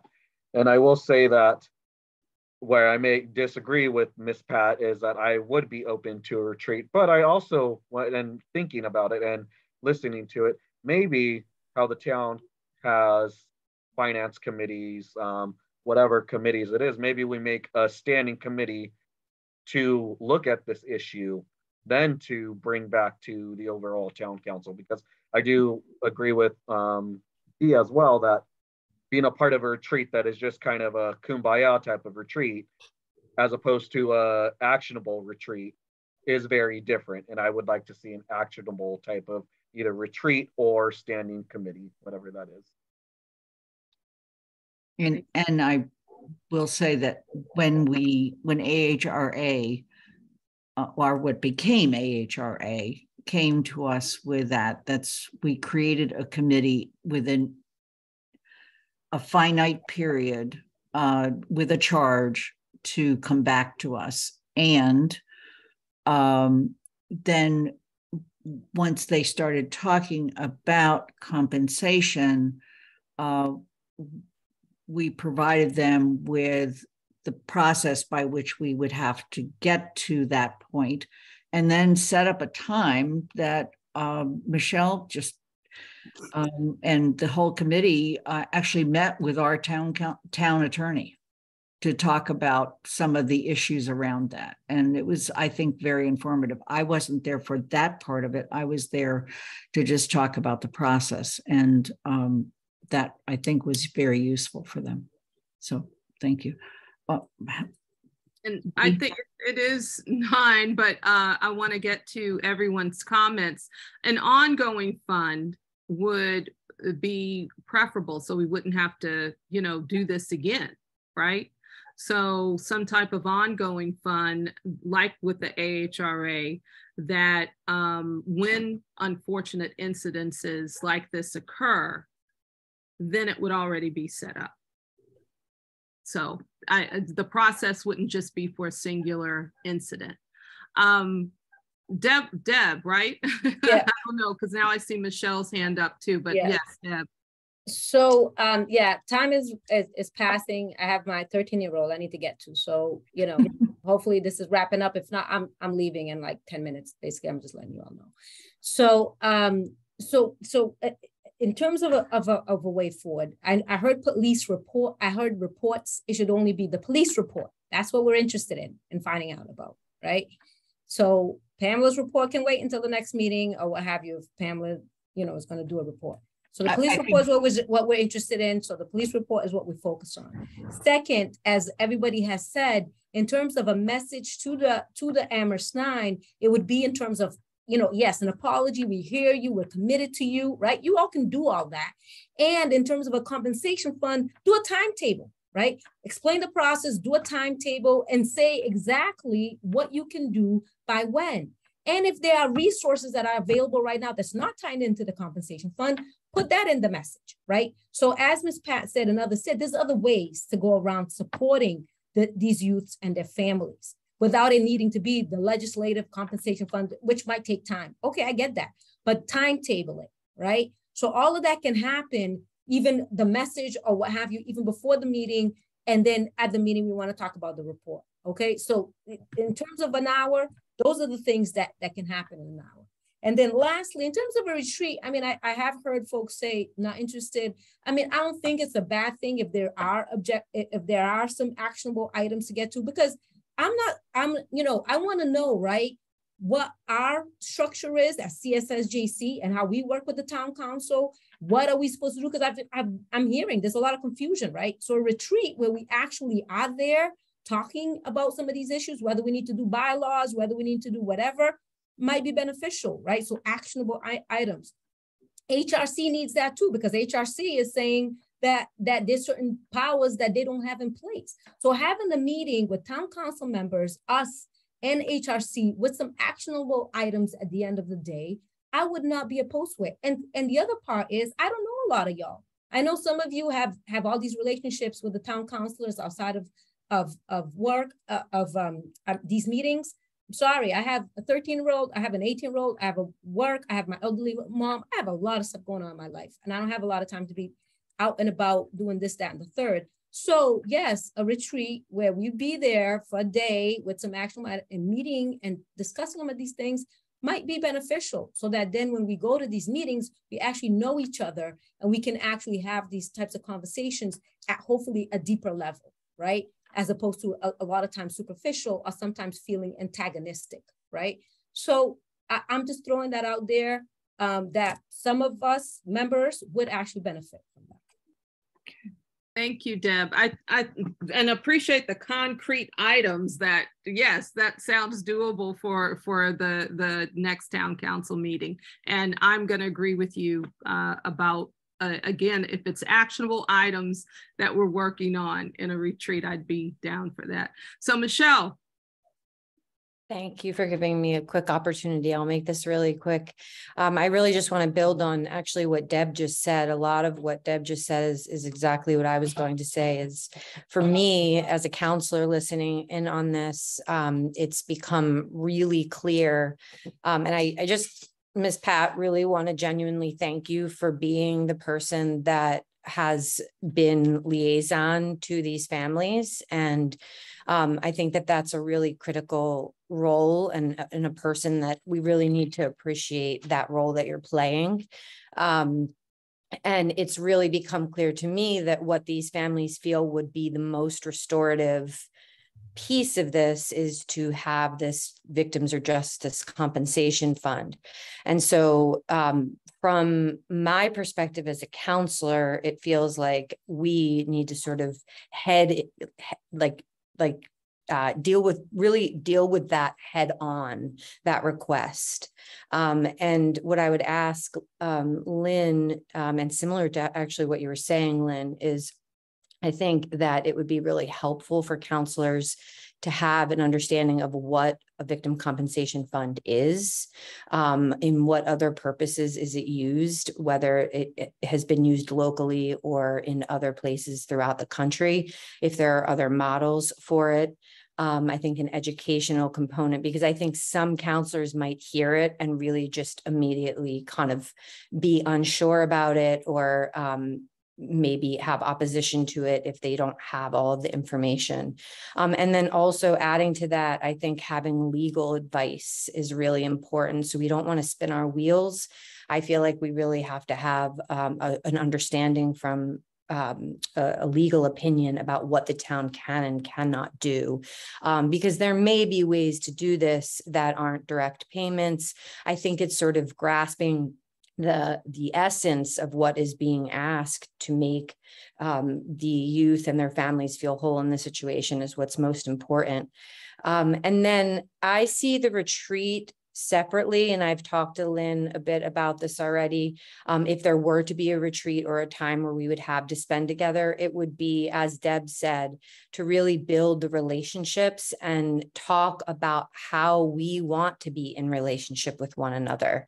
All three, two committees, the town council, um, how do we want to be in relationship, building trust, building ways that we can support one another, that we can fulfill our missions and our charge um, as a, a um, human beings and as these entities that we make up.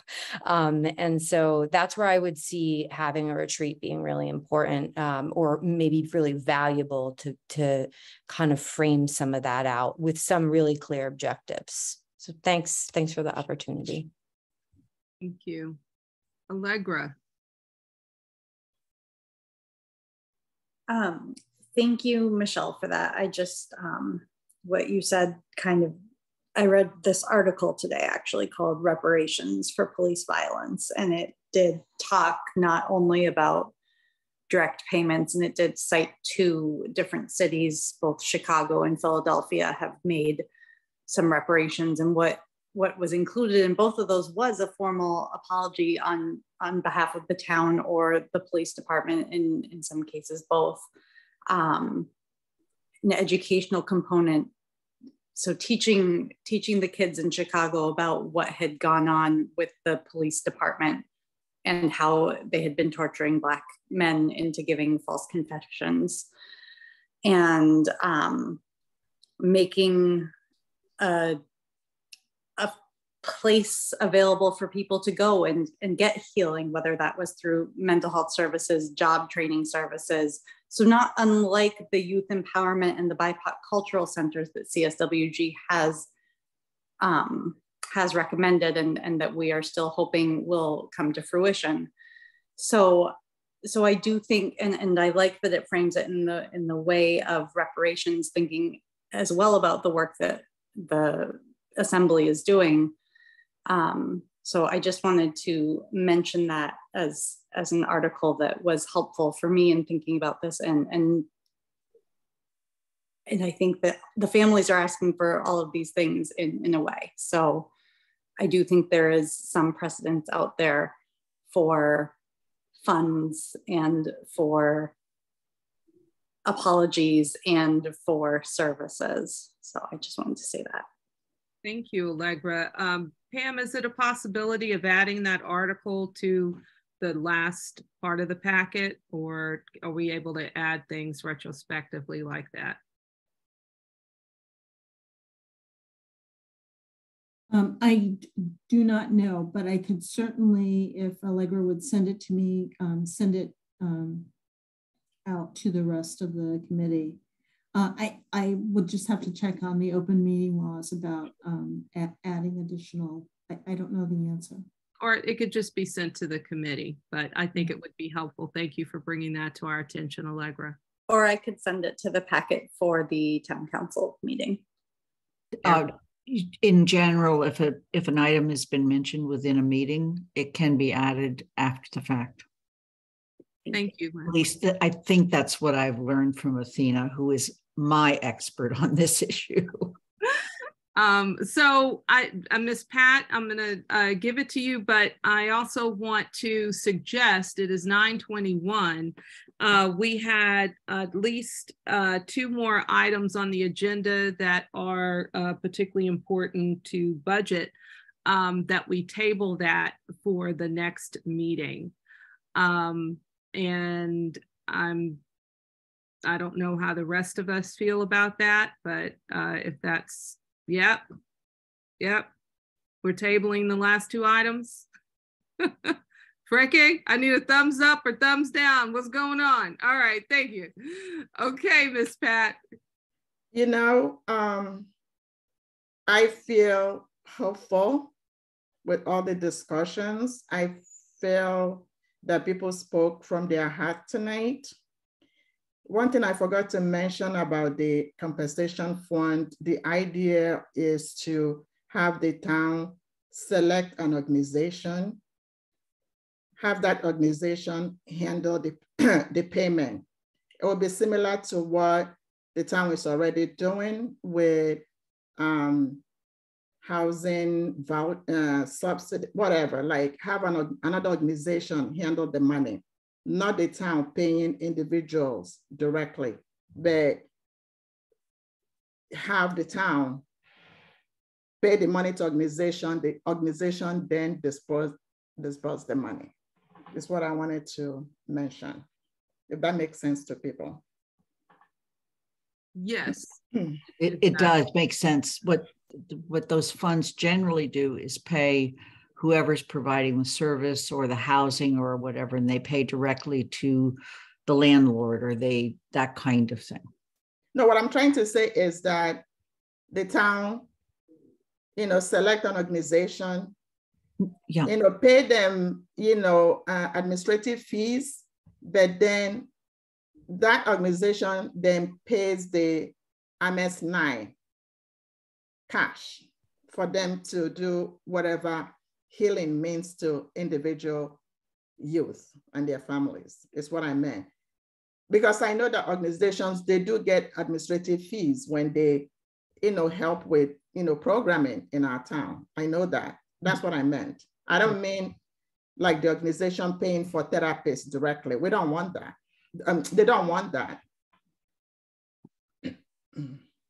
Okay, so it sounds like uh, those are things as as Michelle had mentioned um, would also have to be looked at with um, the attorney and how that might uh, how that might work in terms of you know process as we said. Okay, uh, Anika.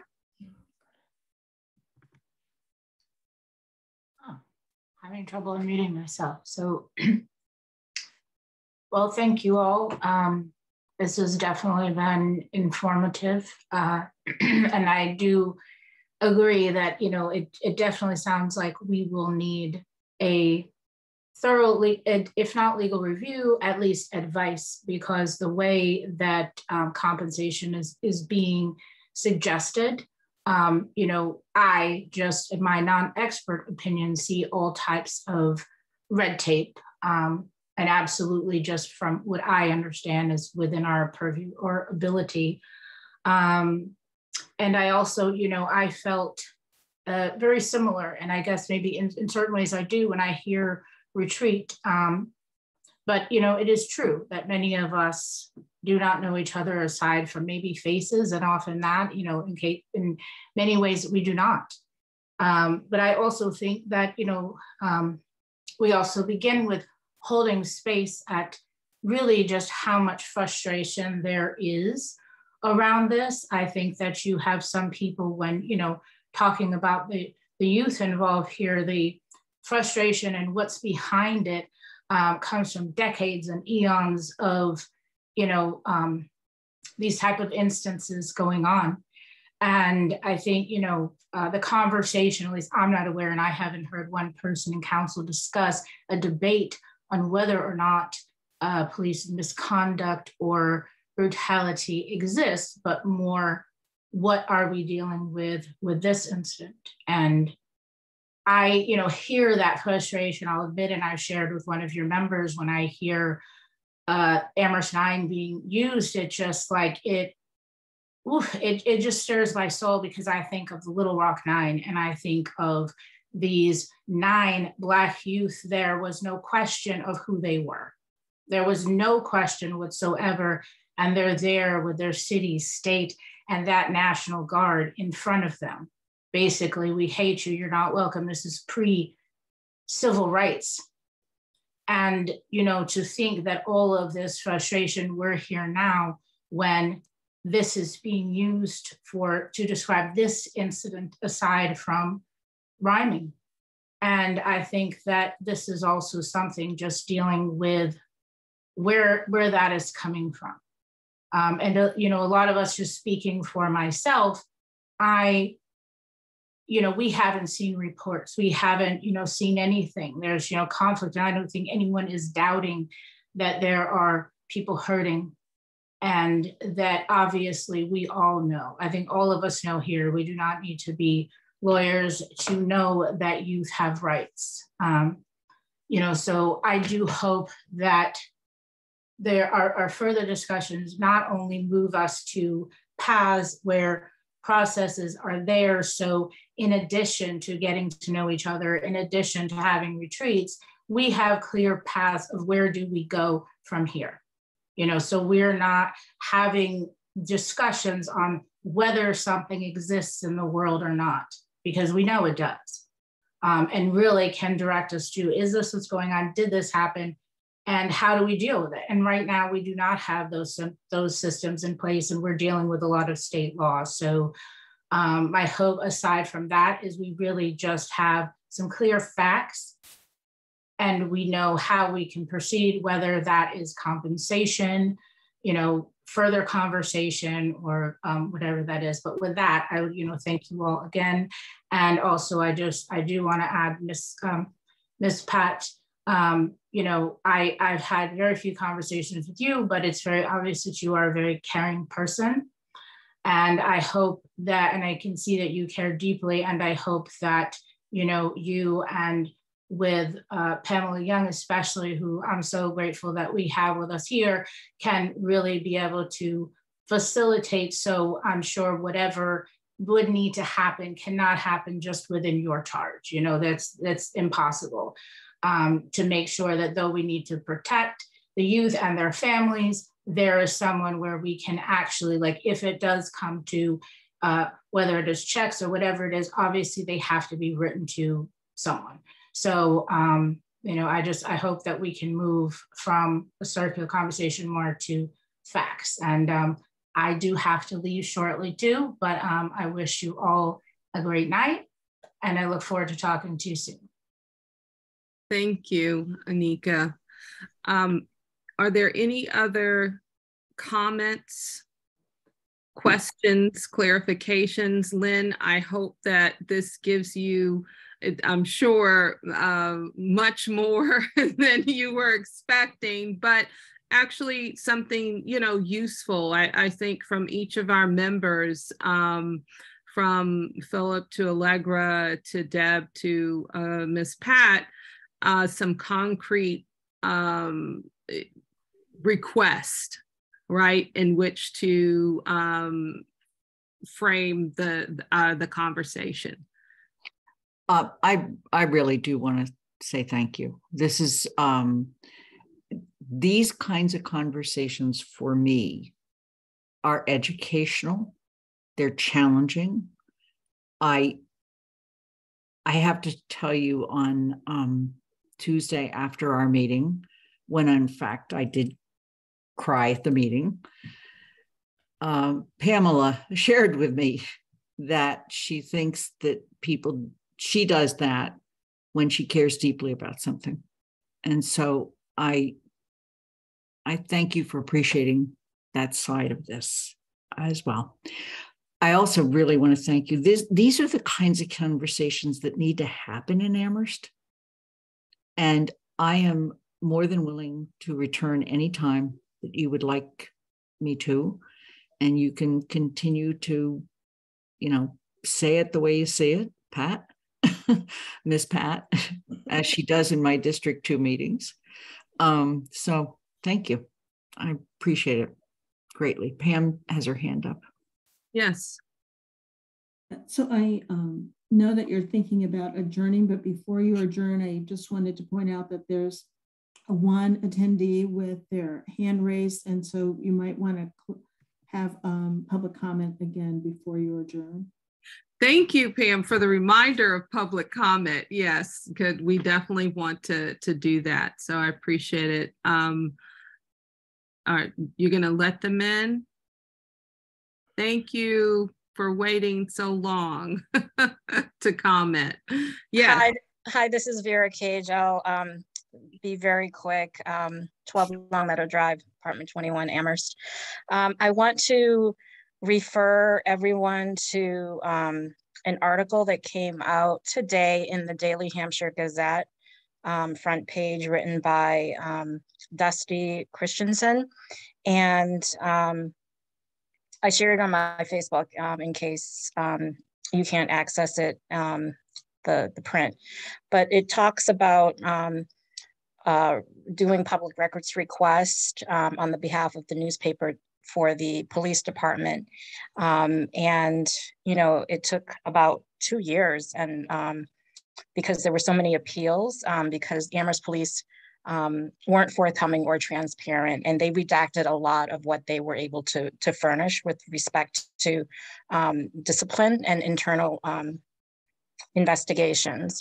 So um, personally, as a resident of Amherst, I'm not, and you know, elsewhere too, um, police are professional liars. Um, they're in court, taking the stand, lying.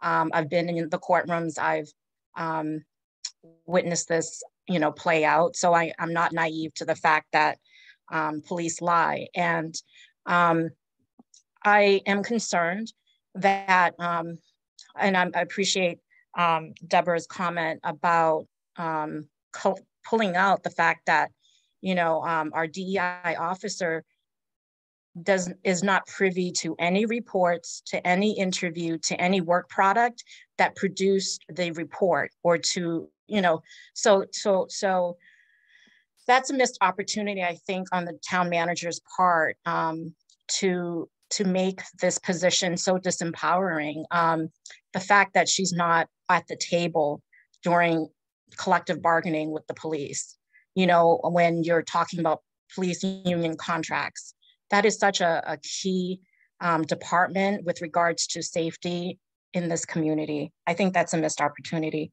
Um, the other point was, um, I appreciate Mr. Miller's report on the CRESS program. I, you know, former organizer, always will be an organizer. I, I hope that there's um, some focus towards community building and prevention and not just CRESS responding to phone calls that deploy them, that we are able to um, use this as an opportunity to organize and to do this participatory action research projects with students, with parents, um, with community members to bring people to the table, provide stipends, give incentives, do, do that work towards building that teen empowerment center, the BIPOC center. These are all things that are interconnected and related, and you have talent at the table. Appreciate Ms. Pat um, saying that. And you have a phenomenal time where the town of Amherst, you know, you have Black women leadership, and the town council needs to follow the lead of these Black women who are the moms of these town of, of our children. You know, so let's focus on trusting the the the people that are appointed to make recommendations. Thank you. Thank you. Any other comments in the audience, Pam? Nope. Okay. So if there are no other further comments from our group or questions, uh, we do have to set a date for our next meeting. Um, and then we can make a motion to adjourn.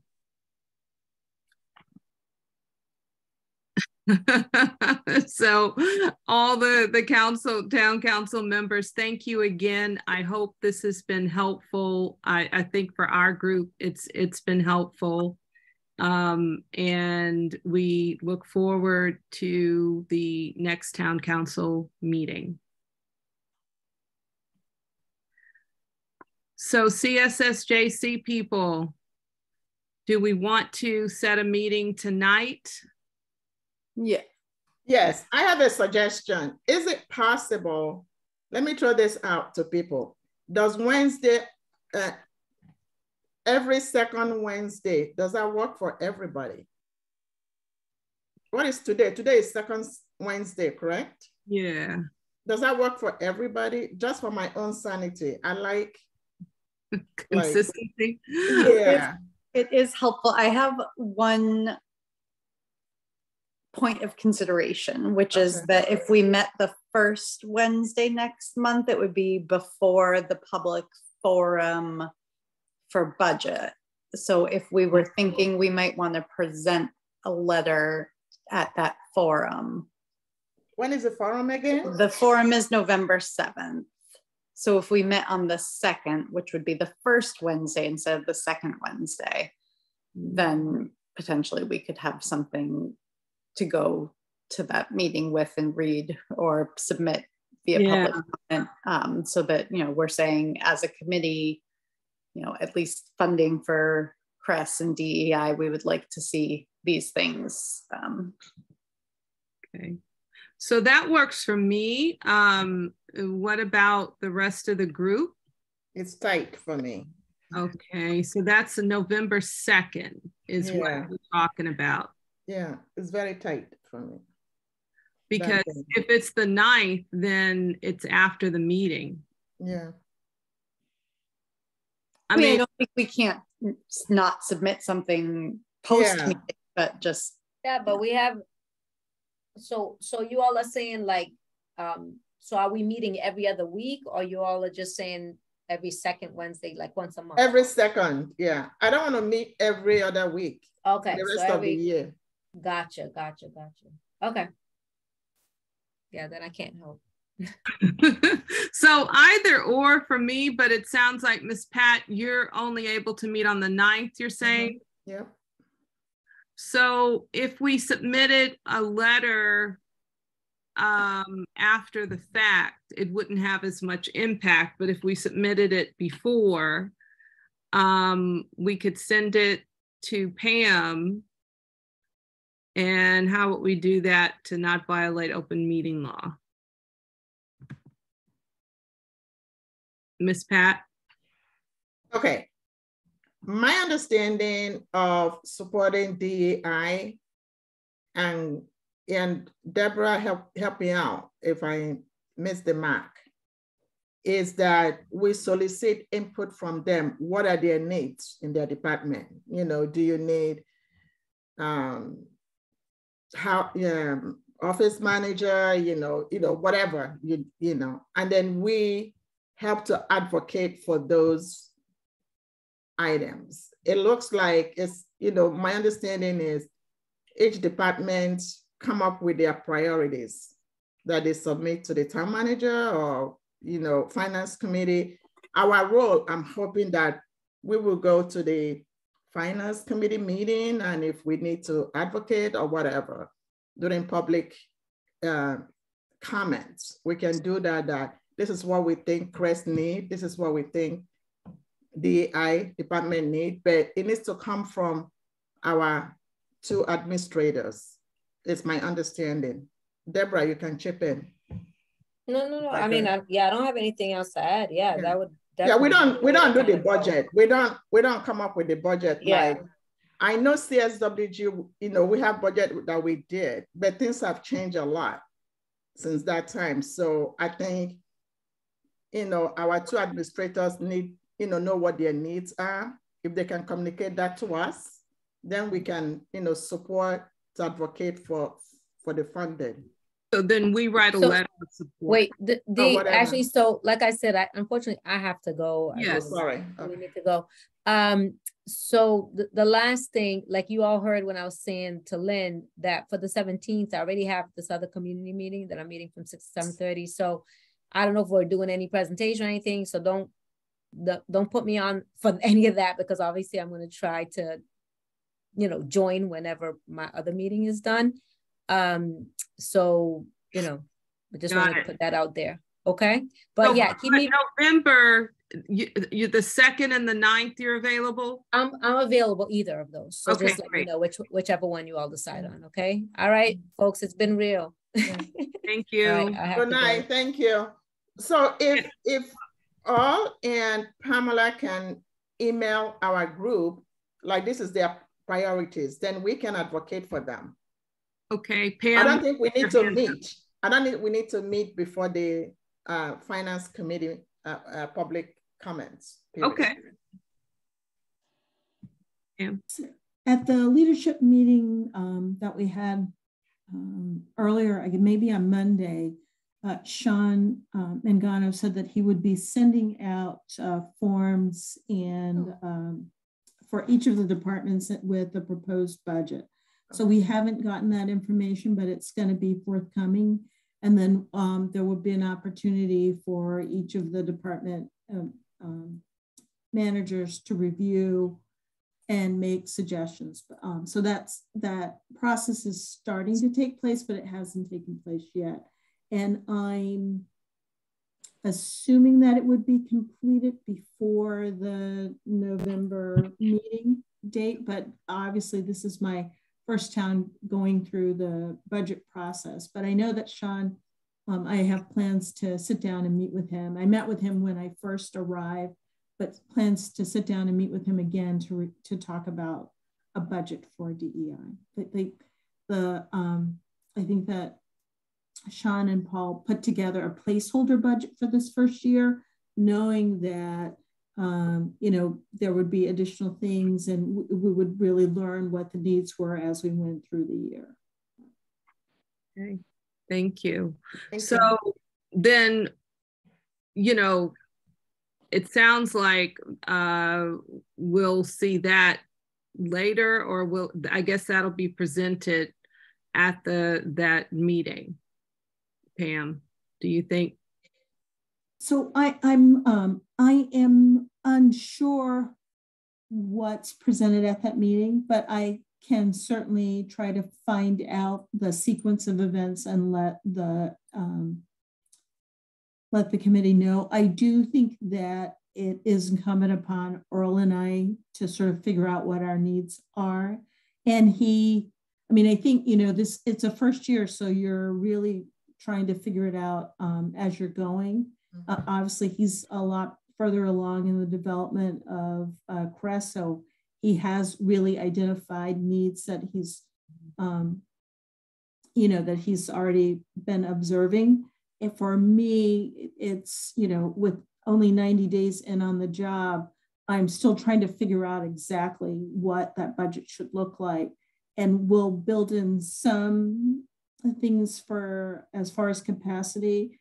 But, you know, I, I don't, I, I actually think the conversation next year at this time would be more important than the conversation this year at this time because we just, we don't know exactly Okay. where, where we're headed.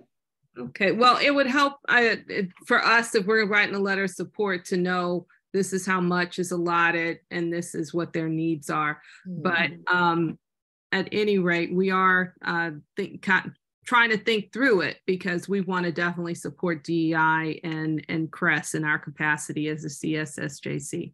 So is this something we need to uh, work on and send? you know, have maybe Miss Pat and Allegra work on it and then send um, to Pam? Um, no? No. Okay. So, you know, you know what your needs are. All we need to know is, you know, what you identify you need. And then we, uh, the co-chairs then write letter, you know, to support, you know, you're, you're, that's our role. All right. Come up with a budget. You know, you tell us what you need and then we support, we advocate for you. There's no guarantee that they will fund everything, but Right. that's why you have us here. That's one of our support for your department and for you, yeah. So to tell you the truth, I think they need four staff there. Even with the, eh, with the office manager, it's not enough because of the scope of the work involved. You know, will be, even though we recommended three staff, Yeah. you know, the DEI director, the assistant, and office manager. I think they need one more person. So so Well. Allegra, so Allegra and I can work on a draft. If there are ideas, Philip, uh, Freke, Miss Pat, send them to Pam and then she'll send them to us. Mhm. That's the open meeting law process. Mhm. Um, good. Uh, and November 9th, November 9th. November 9th is the next meeting. Yeah. Okay, so. Good night, right. everyone. Well, no, so. Oh, not yet, sorry. to Adjourn, please. Yes. I Second. Second Okay. So Allegra made the motion, Ms. Pat seconded, all in favor, yes. All right, Now I'm going to have dinner. everyone, thank you, thank you, great meeting. Great Thank you, everybody. Yeah. Thank you, uh, Councilor Dorothy. Thank you, everybody. See you on Monday. And